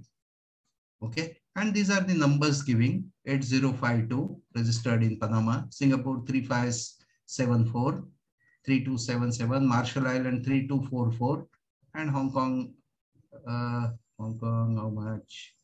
Let me see, Hong Kong 2594. Okay. Then, as of January 2018, there were 53,732 ships in the world's merchant fleet. So how many ships are there trading in the world? You can say about more than 50,000. Okay, this is what is information available, uh, updated information. Okay, and I have given the source also from where this information is taken. Okay, so Uh, let us sir, see just further. uh, wanted to ask a question. Yes, please. Uh, sir, you you mentioned here that FOCs and I mean other registries, and uh, you mentioned this is top eleven. So uh, th there are many more than this, right? So Yes, how is, yes. how is it decided that uh, this is flag of convenience? I mean, how, who uh, gives this term to a particular country? uh, it is not given term to particular country. When owner owner's nationality is somewhere else, and he is registering his ship to some other country, then it becomes flag of convenience, no open registry, like that. Okay. So And these are the countries. And, these apart are- from this, sir, sir, apart from this, uh, uh, it may lead some of the uh, mishappening to that particular country because, sir, uh, the ship owner as well as ship can take advantage of all these things. Yes, that, in that is happening. Yes, yes, yes. It Yeah. is. It is. Yeah. But finally, what businessmen's uh, uh? What is aim of businessman? To earn money by hook or crook. Okay, they are not worried about what is happening. Just because they- somebody will catch, just because somebody will catch them, that's why they comply with the rules. It is not uh, of their own choice they are complying with the rules, like most But of sir, the they- people do. But sir, there should be a control now because uh, it's like uh, uh, there is a worldwide control over uh, Yes, yes, by yes. United Nation. Yes, yes, it is. uh, It is there. It is there. But finally, finally, business takes over everything. Okay, the control is also there. That we are going to study, and you will understand. And Okay. sir, this one of the advantages is greater operational freedom. Mm, sir, uh, how can we say that? Sir? Means, can you give some examples that FOC has greater operational freedom, and what is the meaning of sir operational freedom, sir? Here. Operational freedom means suppose. Uh, okay, Mm, operational freedom. Suppose you have annual inspection due of the ship. Okay. And suppose annual inspection going to take two days or three days. Okay. Annual inspection of the ship is going to take suppose three days. And suppose flag of convenience person says that I will finish within few hours. Mhm. Okay, sir. And wherever ship, your ship will go, I will arrange. So they will appoint somebody to go on ship and uh, do the paperwork. Khana purti kar dega. And he will say, okay, the inspection is over. Mhm. Like ships calling from um, foreign countries, India, and sometimes the auditors came from outside, and sometimes the auditor came from India, sir. Hmm, yes. Sometimes some person will say, okay, I will charge you $500. I will go on ship and give you a report. So report only matters, no? Yes. But sir. suppose, suppose if you tell government of India or government of that particular country, please uh, inspect the ship. They will say, okay, keep your ship two days, three days here, and we cannot send to any nook and corner of the uh, world uh, for inspection. So whenever ship will come to India, we will inspect. So is it not operational free- freedom? Uh, excuse me, sir. Yes, please. Yeah, sir. Uh, I want to ask one question. That you, uh, sir, in order to leverage out the hundred percent advantage of FOC, it means that, sir, most of the out of fifty-three thousand ships, all most of the ships should be uh, take registration and all these uh, leverage from all these small country. Na why they will have to pay some uh, you did not- hefty you amount did- of tax? You did not understand, you did not uh, pay attention to my few sentences first. Countries do not allow, countries do not give you permission to go out and register your ships like India. India, you are not having freedom. If you are Indian citizen, you have to register ship only in India. But sir, I think now India government has I allowed. just, no, no? just hold on, hold on, hold on. Just hold on. Bata do. We are coming to that. Okay. So this is how the ships uh, tonnages are. Panama is registering 22%, Marshall Island 8.6, and uh, Malta 4.4. These are what is available statistics on net, which is a uh, you know recorded uh, information. Okay. Now what you people are saying, I will uh, throw some light on that. That government of India was not allowing Indian people to register ship outside India and have level playing field with foreign ship owners. Yeah. But from 2015, they said, okay, Indian people also can register their ships outside India, but with condition that suppose I am ship owner, Indian ship owner, I have five ships. I can register my sixth ship wherever I want. Maybe in Panama, maybe Malta, wherever I want. I can. Government of India has given that permission. This government, which present government uh, running the country, they have given that. Appreciating the fact that owners are not having level playing field. But condition is you should have, you should maintain the same tonnage what you have on that date. So suppose I had five ships, I must maintain five ships. Not that I purchase new ship, register outside and I sell one ship from here. If you are selling one ship from here, you have to register new ship in India only then. So you must maintain the tonnage and your foreign registered tonnage should never be exceeding Indian tonnage. Indian tonnage means your own tonnage. Sir, here tonnage refers to ships. Yes, ships. Mhm. And uh, sir, Means sir, if- what if- can if, if any Indian has five ships, means he has to maintain the registry of that five ships in India only. Not And that if- five ships. He has to maintain that number, resist tonnage, Yeah. capacity of the ships. And sir, what uh, can you say if the particular ship owner can uh, can have more than five country passport, or uh, if uh, uh, then uh, in on uh, in on that condition can he has uh, le- can he he has uh, permission to take uh, FOC from all those other uh, country? No, five country passport is not possible. You can you can have only one citizenship wherever you want to take. You cannot have five, six passports with you. And sir, Only Indi- India has given that facility to have second passport because you are of Indian origin. But otherwise, no. And sir, and sir, But that Only visa is- possible. Yes, yes.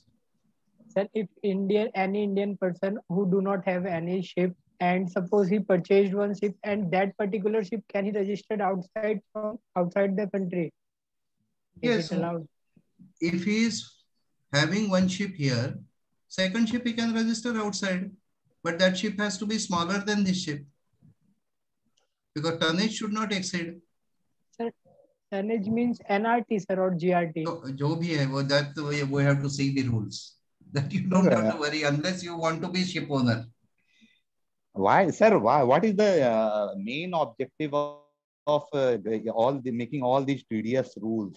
I don't think why government of India is uh, making all these complicated rule in order to restrict out uh, the maximum ship, ship owners. It is not only ship owner. Everywhere rules are same. If they allow everybody to go out and register, not a single ship Then will what- in India. All ships will go out and they will register outside and come. Yes, and there is no profit for Indians if they, Ah, all of them will go out. Yes. So how This is the only reason they are restricting. Yes. Sir, So- for But- Indian for Indian for registering the ship outside. Uh, so as per FOC, they, uh, they it is not necessary to have any connection with that foreign country, so Right? Yes. Uh, means say he does not have any office in that foreign country or any a passport or ID proof. Oh no, no, no. That they are fulfilling that requirement of genuine link. They are fulfilling somehow. So they may be sending their one relative, making him stay there, making him as a citizen. That how whatever is required, you have to do it. Like earlier days, people used to register cars in Diu Daman or in MP and bring it to Mumbai. Because the taxation. Why so much? Just few years back, Mumbai people used to register cars in New Bombay because New Bombay did not have octroi. And just to save, people will have, okay, they will show some maybe ration card, maybe some gas card, maybe some telephone connection, something they will show and they will take it. Anyway, uh, let us uh, close that topic there only. Nowadays, see now what happens. Countries which have given total freedom to people to go and register outside, like European countries. So they are giving now second registry, like Indian Indian government has is giving to Indian origin people like second registry, second passport. They are having one uh, mm, scheme where whereby they don't have to stand in queue for visas and all. So second registries have come up and European countries are asking their ship owners, they say, okay, you register ship outside uh, so and so our country, but do registration here also. So they have data that how many ships are registered outside. They want to attract the ship, uh, businessman to their own country by giving them some maybe some benefits and asking them to register. So at least data is available with them that how many citizens are owning how much property outside. So governments can have various uh, views. And so second registers have started in Europe, like uh, Norwegian International Ship Register, Denmark International Ship Register. So these are examples who are asking their ship owners that, okay, you have flag of convenience, but register in our country only and giving them some benefit maybe tax uh, benefit or maybe cargo booking or maybe having some uh, you know uh, benefit for uh, business whatever okay they have you have to attract businessmen then only he will come to your country okay But, so sir, question uh, answers are already we are doing simultaneously with, yes, sir. uh, But uh, So if, what are if the uh, some- advantages of uh, the second registration? Like, why do we need to do second registration? Just now I said uh, if people who are staying outside India, NRI, and they have left Indian citizenship, and when they come to India, they have to stand in the queue for visa as a foreigner. So government of India is saying we respect that you were original Indian uh, origin person. So we are giving you facility. You have second passport, and you visit India anytime. So that is facility you are providing to your people, no? So similarly, facility to your own country businessman, you are saying, and they are getting data, no? That how many ships registered outside which are owning to our country actually. So such data governments are interested to collect. Okay. Uh, sir, and sir, this uh, the owner have to pay tax to the both registries, even it is minimum. Uh, yes, uh, sometimes without tax also they may say that they will say we will do free. Please register here. So what is the benefit of second registration? I told you the benefit. Government wants to collect data. Government wants to collect uh, your own people. You want to give them facility something. Mhm. Okay. Correct, na? Okay. So everything government also sees something out of that, no? It is not just for sake of uh, things are given, sake of something. It is okay. Then this topic I will just touch upon. Next topic. Okay, that is ITF. Earlier we had one complete lesson on ITF, International Transport Workers Federation, and this happens to be a international uh, labor union federation, trade federation, uh, transport workers federation. Okay, so this is like a union only and international nature. Okay, so let us see. And this uh, became little more alert and powerful or more uh, representative in shipping because of flag of convenience. When owner is of different country, ship is registered somewhere else, ship is operated by multinational crew, then suppose crew who is not going to their own country, and suppose this owner exploits the crew, like working conditions or promising one salary and not paying that salary, not uh, providing them proper food. So all these things suppose owner is doing, so where this crew will complain, what will happen to them? So this International Transport Workers Federation, they said ships also we have to see where flag of convenience is there. And we have to go and check the ships also. Okay. So let us study a little bit about, about International Transport Workers Federation. And in this full form, short form, W is missing. International Transport Workers Federation, W is missing. That you must remember that. Okay. Many of the people in shipping, they know ITF, they will be speaking many times ITF, ITF, ITF, but full form, very few will be able to tell you. Many people will say International Trade Federation also. Okay. So International Transport Workers Federation. Okay. This federation was founded with respect for human and trade union. Okay. Just a minute. Huh? I will put it on presentation mode again because then I can have the pointer.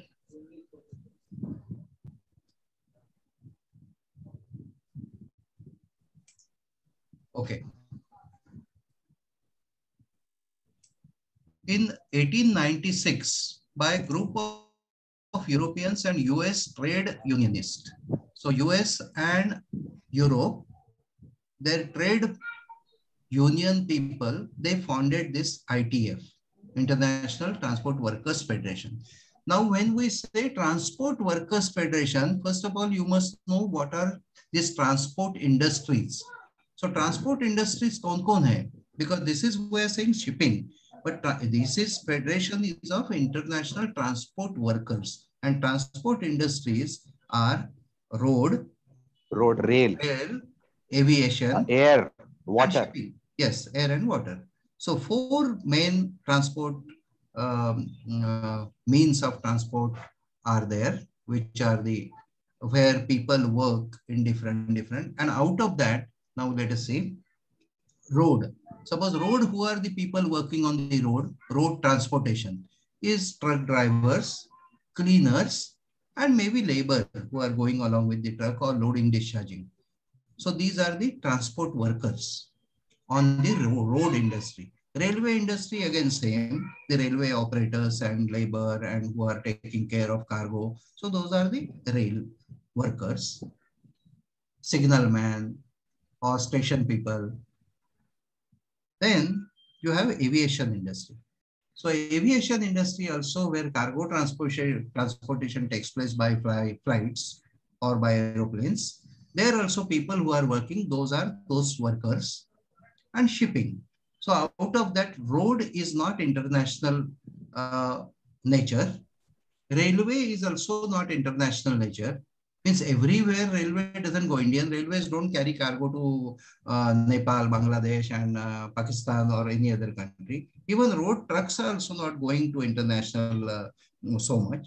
So those two industries are domestic industries mostly. But sir, sir, in terms of the road transportation, India is also transporting uh, its goods from India to Bangladesh, India to Nepal, I, India to Bhutan. I'm, I'm, I'm just saying, just hold on, no.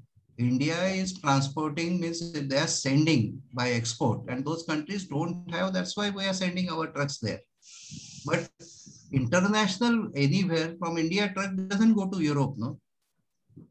Or it. it it doesn't. But sir, it is a it is a cross border border uh, scenario, na? No, no cross border is... scenario that is a uh, special arrangements. It is not as a uniform arrangement.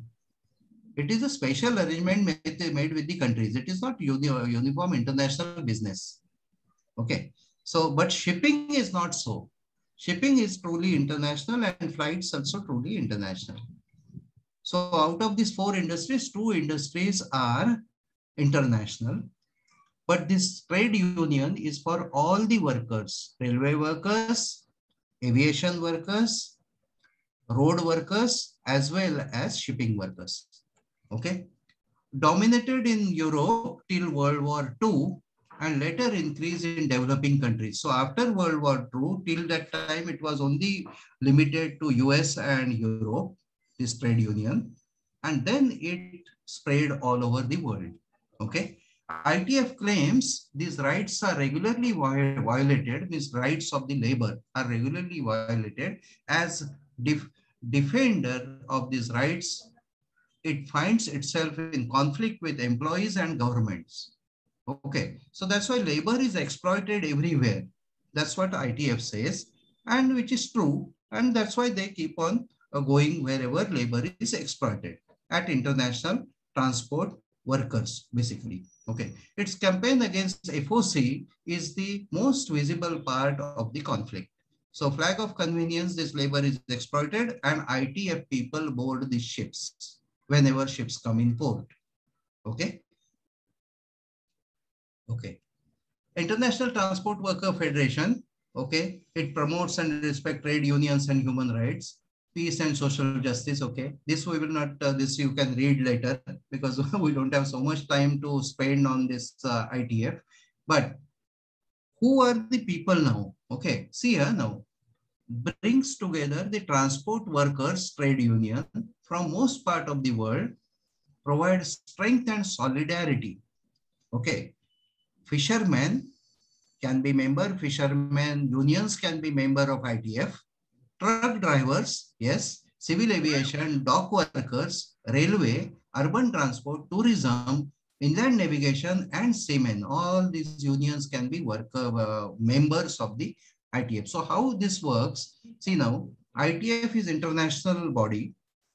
Suppose Indian Seafarers Union, they can take membership of ITF. So each Indian seaman need not be member of ITF. But Indian Seamen's Union has taken membership of ITF. So in turn, Indian Seamen is also protected by ITF. Understanding? Okay. Now, Indian Railway. Indian Railway Unions, Mazdoor Union, they can be also a member of ITF. So now you will say railway, if it is not international, why they should be member of ITF? to exchange, exchange the uh, views, exchange the dealings, exchange the uh, whatever uh, cases against trade union or with workers, uh, where trade unions have won and how compensation was given, just to exchange the views and news these unions are and how it affects. See, now tomorrow, suppose one ship in Mumbai and suppose you ITF calls or any other any any other union calls for a strike. I didn't see like I really want to roll this way. Just mute yourself. Okay, so suppose a, a ship in Mumbai and they call a strike, not ship, ship's crew. Suppose ITF ITF has called a strike. Please uh, check with your mics, please. Disturbing the class. So all other unions also will support that strike. Which all unions? The fishermen union, truck drivers, truck drivers who are going into port, they will say, okay, we will not also deliver the cargo to the ship because it is called by ITF. Okay. Then civil aviation, dockers, dock workers also, they will say, okay, we support this right. So likewise, the um, unions will support each other to make it more strong, to give solidarity. Okay, so that is how ITF. The principles of ITF is based on UN Declaration of Human Rights and Rights of Freedom of Association laid down by International Labour Organization, ILO. Okay, and ILO has came out with a maritime labor convention for the seafarers. Maritime Labor Convention for the seafarers. Okay, and it is come came out in 2006 and it has come into force from 2013. August 2013, it came into force, Maritime Labor Convention. Okay, so that is introduction to ITF. Now ITF, when it goes on ship to resolve some issues about crew, they will go and ask that whether you are getting your salary, whether you are getting food, whether you are not working excess, whatever. And crew will express with them and then they will take up with the owner and they will hold up the ship. hold up the ship and ask for compensation. And suppose this is happens with all the most of the unions, this will happen. The unions will take extract money from the owner and pay to its member, and some money will be kept with the unions also, some percentage. Okay, so that also happens. Okay, so ITF now, suppose ITF is boarding all the suppose Panama registered ships and owners are getting troubled because of that. So owner went and may, uh, met the ITF people and they said, why you are troubling every time? What do you expect out of me? That I should do this, this, this, you give me, please. And I will do that. And once it is done, then the ITF will issue something called as blue certificate to the ship. That means the ship, although it is registered under Panama, ship has complied with most of the things. Okay. And ITF people need not go or they will go on board. They will say, oh, you have blue certificate. Okay. We will go out. We'll walk out because ITF has given you the uh, like a blanket permission to operate without any hindrance. Okay. So ITF has uh, membership 653 trade unions around the world. This, uh, of course, must be increasing uh, every year by year and in 153 different countries and represent huge number of labor associated with transport industry. Okay. And here we are having pride to say that Mr. Abdul Ghani Sarang from National Union of Seafarers India is elected as an executive member of ITF. So one Indian person is there in ITF board, okay, who is from NUSI. Okay. So with this, we are coming to the topic of this ITF. This is coming under one international uh, organization. Sometimes you get uh, for five marks to write on this. Earlier, we had even 20 marks questions used to come on ITF, but ITF now as a separate lesson we don't have from 2019 onwards. So it's lost its uh, importance in this subject. So uh, that much of the information I can provide. We can start a new topic till as we are having time, further time. So let us say, as we are taking question answer session along with our lecture. So let us go to different topic, which is which one you want to take, you can tell me, we can go to that topic or I will start with IMO, International Maritime Organization. Okay. So as we mentioned about United Nations, United Nations Organization is organization of all the countries, of all the countries in the world.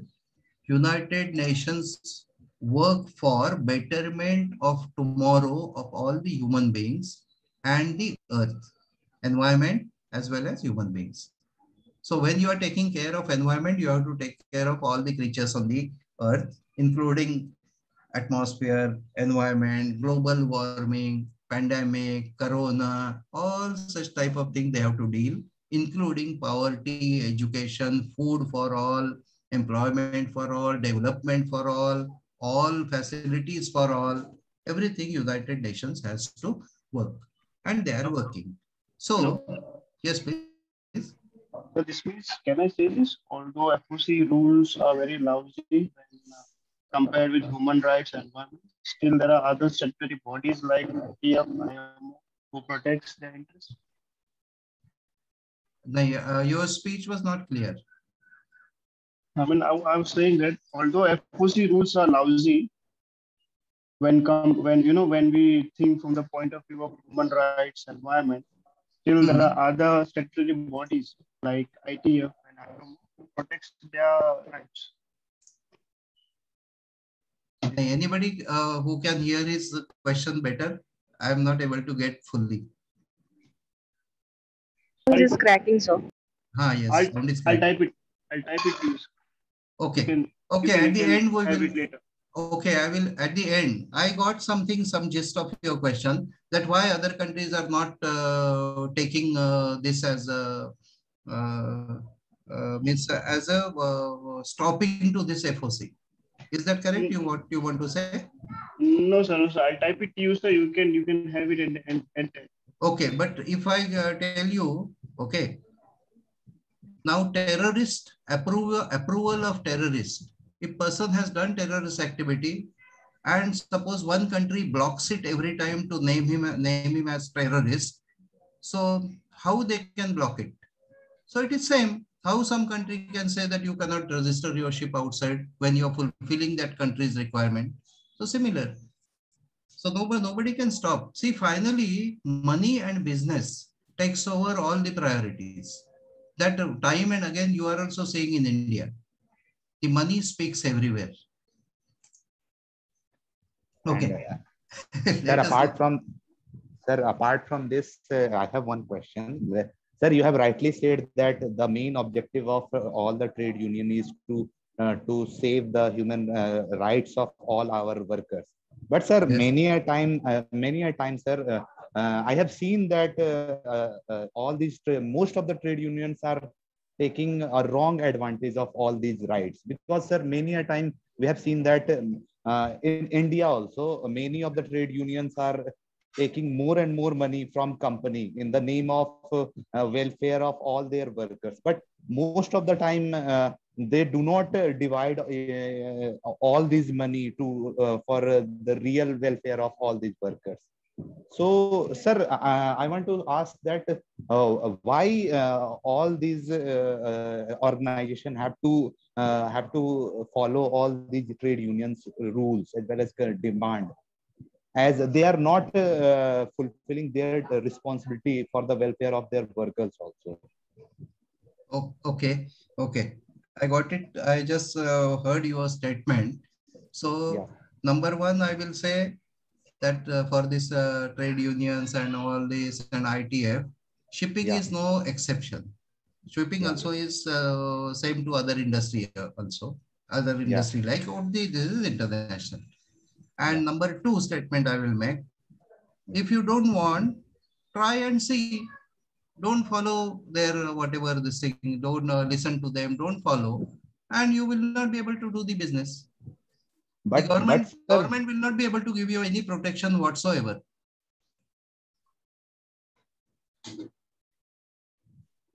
Okay. So that is the uh, scenario all over world. See weaker person gets exploited. All over world. but sir many a times they pay they may take uh, some political in, uh, but you cannot do anything. Finally it's money finally it's money. Political or uh, unions or labor finally it is money and weaker section has to suffer. Yes. Thank you. Okay. So what we were discussing is united nations organ and good environment without damaging environment and United Nations as one body, they cannot be having one office and looking after everything. So they are having branches. They are having arms.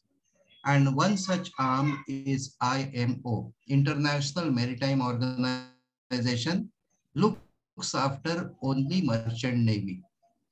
So when I say now this merchant navy, then you must be immediately Uh, having clear idea about merchant navy and defense navy. Defense navy got nothing to do with this IMO thing. Defense navy is not coming under any rules and regulation of Merchant Shipping Act. Defense navy is totally different. Defense navy is for protection of the country. Defense navy is domestic. Defense navy is not carrying cargo and merchant navy. And what course you are going to do with this shipping management is only about merchant navy and merchant navy is for transportation of goods.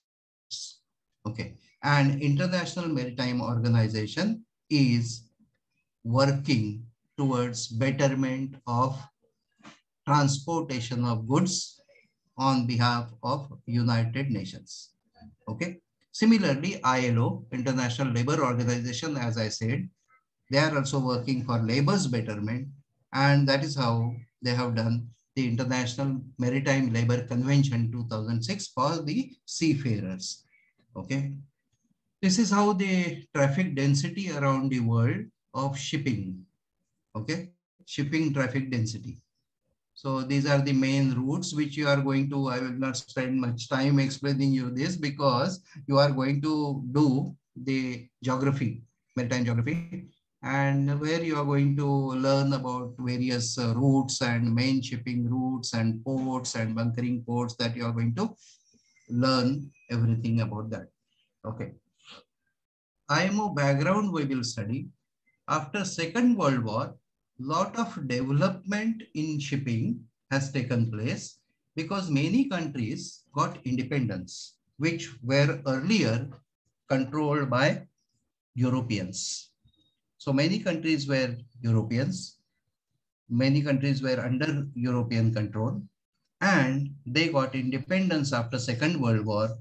And as countries became independent, all this trade started improving. It started getting formal uh, trade between the international body, or international uh, um, scenario and the within the countries or between the countries. Okay, so individual countries also like India started developing their shipping. Developing their shipping means purchase of ships, improving ports, opening more ports for their own country benefit. So every country started doing that and that's how shipping started getting developed. World population also increased day by day and thereby demand for the articles, demand for the cargo also increased and shipping also increased because of that.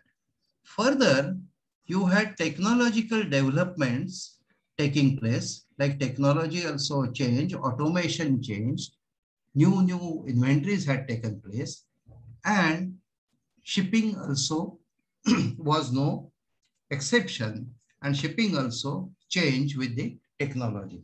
So earlier ships were used to be with wooden ships, then steam ships, then steel built ships, then diesel engines, then small capacity to large capacity, then type of cargo also, different, different type of cargo. Earlier only very limited cargo used to be transported.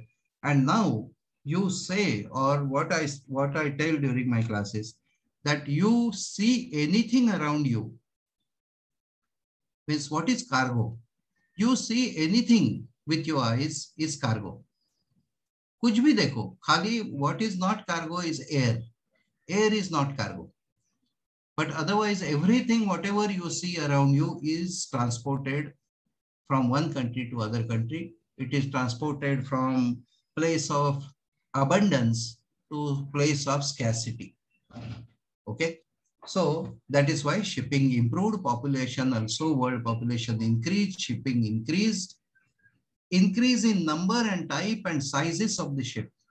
So ships also became huge, number also of ships increased and their types also change like LPG ship, LNG ship, different chemical tanker, crude tanker, product carriers, container ships, bulk carriers, offshore supply vessel, multi-purpose supply vessel, diving support vessel, passenger vessel, luxury liners, ro-ro. You have so many different, different types of ships, including car carriers. Okay. A need was felt to have an international body in place for controlling the shipping with respect to safety, security of shipping, and the prevention of marine pollutions from the ship. So, United Nations saw that there is a need to control this everything and there should be international body who will be working uniformly to control this and to improve this. Okay. So therefore, an organization called Intergovernmental Maritime Consultative Organization, which name was IMCO, IMCO. So IMCO was formed and a convention adopted in Geneva in conference convened by United Nations in 1948 and IMCO, IMCO was established in 1949.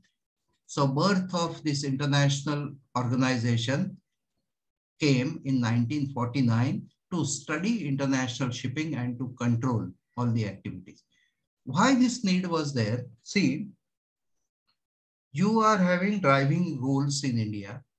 You are awarded driving license in India. Suppose we take this driving and uh, cars and all. The same driving license, can you, is it valid in uh, Dubai? Is it valid in US? Is it valid No. in uh, Europe? No. No, Answer sir. is no. No. Because in India, you can have one license, two license, three licenses. Sometimes it is possible to even without visiting uh, or appearing for any test whatsoever, you can get driving license. The uh, temperament, driving skills, knowledge, everything can be different from the developed countries for drivers in India. So how this license will be valid across? But shipping, this has to be valid because you are moving from, you are moving your ship from one country to other country. So there has to be international rules. There has to be international standards. And to set these international standards, there was need for international body under United Nations. And that body came into existence in 1949 under the name of Intergovernmental Maritime Consultative Organization, IMCO. Okay, IM, IMCO. Okay, further, the purpose of IMCO included to encourage the general adoption of highest practical standards of matters concerning maritime safety and efficiency of navigation. So maritime safety and efficiency of navigation, this was on the agenda. And this IMCO, this consultative organization, C was removed because it was not only consultative. It was not only co consulting means you just ask that uh, whether I'm doing correct thing or not. And if he says you're not doing correct thing, okay, he will say, okay, you keep your advice with you. I will go ahead still. So that consultative word was removed in 1982 and it was renamed as IMO, International Maritime Organization, no consultative. Okay. So in 1982, it was renamed as IMO. Okay. IMO slogan, I will explain IMO slogan, slogan and I think we will be able to stop here today uh, after because I have to discuss some more things also with you. Okay. IMO slogan is safe, secure and efficient shipping on clean oceans. So एक ही sentence में सारा uh, you know all the uh, what IMO wants to do that has come. Entire thing is covered there. See, shipping, shipping when you are transporting goods across the world, 90%, it should be safe. Safe means what? The people who are transporting, they should be safe. People around shipping, they should be safe. The property should be safe. Cargo should be safe. And environment also should be safe. While transporting, you should not go on damaging everything and transport just for sake of transporting. No. So it should be safe. It should be secure. Secure means you should be able to safely transport without any threat in mind, like terrorists or like pirates. So people should not have this, uh, they should not be afraid that this is a scare. That so it should be secured. This transportation of goods should be secured business. Okay. And also it should be efficient. And this efficient business means you must be able to do quick and efficient operation of the ship, quick and efficient operation of loading and discharging of the cargo and transportation of the cargo. Efficiency, I will give you example also. Like when you say how much mileage your motorcycle or car gives you, how much mileage. Okay. So when you are purchasing new thing, they are saying, okay, how much car will give? 20, 20 kilometers per liter. Or how much this motorcycle will give? Oh, it is 60, 85 kilometers per liter. Okay. Or it may be 40 kilometers per liter, depending on engine. And in between you check and in between you say, oh, my car or motorcycle still gives me 40 kilometer per liter. That means your car is efficient to whatever it is built. So shipping also should be like that, that ships should be running efficient on the ocean. And while transporting these goods from point A to point B, ocean should not be damaged. Oceans should be kept clean. You should not make them dirty. You should not make air polluted. You should not be polluting waters. And that is why it is saying safe, secure, and efficient shipping on clean oceans. This is the slogan of IMO. Okay. IMO creates and adopts conventions which are ratified by the countries. A convention usually comes into force after a certain number of states representing a certain percentage of the world fleet ratify it.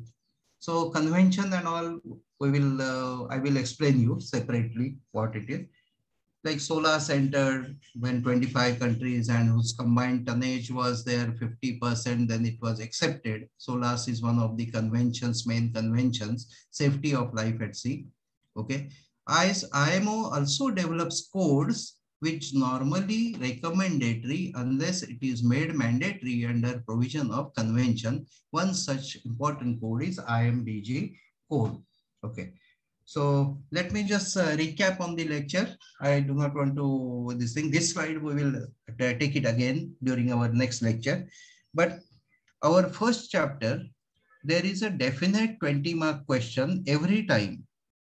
It can be flag of convenience, advantages, disadvantages, or it can be language may be different, different like asking for uh, why ship owner is attracted to flag of convenience, what are disadvantages and disadvantages, then uh, uh, why so much uh, people are attracted to Panama uh, for registry. So such type of questions or what is this registration process? Why ships required to be registered? So this question is for 20 marks and almost every uh, exam there is one question on registration and flag of convenience. Okay. And it is very, very important you understand the concept uh, from the roots and from the basics so that you will be able to, because uh, with this knowledge, we are going to have the maritime administration of the countries, um, flag state control, port state control, all these concepts also we must understand. Okay, there is also a question on International Maritime Organization, every alternate or every exam, that what is importance of IMO in shipping, why shipping has developed uh, and why, how it makes a more safe, secure, efficient shipping because of IMO, how it is making, or what is this IMO organization and what is its structure, like organogram of uh, IMO. So such questions are appearing for 20 marks. Okay, so both topics, registration and flag of convenience is a 20 mark question topic. IMO is also 20 mark question topic, but uh, language of the question may be different, different. Many times uh, students make general mistake. Indian Maritime Administration and International Maritime Organization. In this, in exam hall, they get confused and sometimes for Indian Maritime Administration, they write entire history and geography of your IMO. And at the end, they realize, oh, this was only asking Indian Maritime Administration. It was not asking international body IMO. Okay, so such things. So you're in exam or while reading, you must know the difference between Indian Maritime Administration and International Maritime Organization. So you have to be a little careful on this because these are general mistakes uh, are done by um, students, which I see every time. So do not be that because you have spent so much amount of time writing and you don't fetch any marks for that because question is different, answer is different. Okay. So with this, I think we will uh, uh, end today's session. And uh, if you have any questions, you can ask me now also, or you can ask me later, maybe during second uh, our uh, uh, second lecture. So thank Sir, you so why, much. why we call ships as sea, sheep? Uh, right from beginning, uh, when uh, uh, this is also a tradition by Britishers, the English language uh, uh, uh, gives uh, the ship a feminine gender, and she is called sh- uh, sh- uh, she, feminine gender. And even for um, uh, Indian languages also, we are giving her fe- ship a feminine gender only. Okay, Uh, the sir, languages. Huh. uh, sir, I just wanted to know the difference between this IMO means not uh, means how if people get uh, confused in this IMO and the which is written on back side of the ship is it uh, similar or something different? The imo number which is written IMO, on the ship. Okay eight minute eight minute. Imo number is given when you do international uh, registration with imo so you are purchasing ship you are ship owner you have registered it somewhere else but internationally also it is mandatory to inform them that you are having so and so ship. Then they will award you one number. And this IMO number is uh, written on the uh, ship's uh, uh, mm, uh, body or hull of the ship. But the both are same, right? Yes, this IMO, IMO, this is organization we are discussing, and the number is also given by that organization. Okay, okay, okay, sir. Thank you so much. So uh, long form of that is also same, International Maritime Organization. So they have given prefix, prefix as IMO number so and so. It becomes easier for tracing internationally because this your national uh, registration numbers can keep on changing or when you sell buy, you have give it to different country, everything will change, but IMO number will remain same same. Sir, any any connection between the uh, at starting of the lecture you said regarding the Geneva Convention of ICs Seas and IMO? Any connection between these two?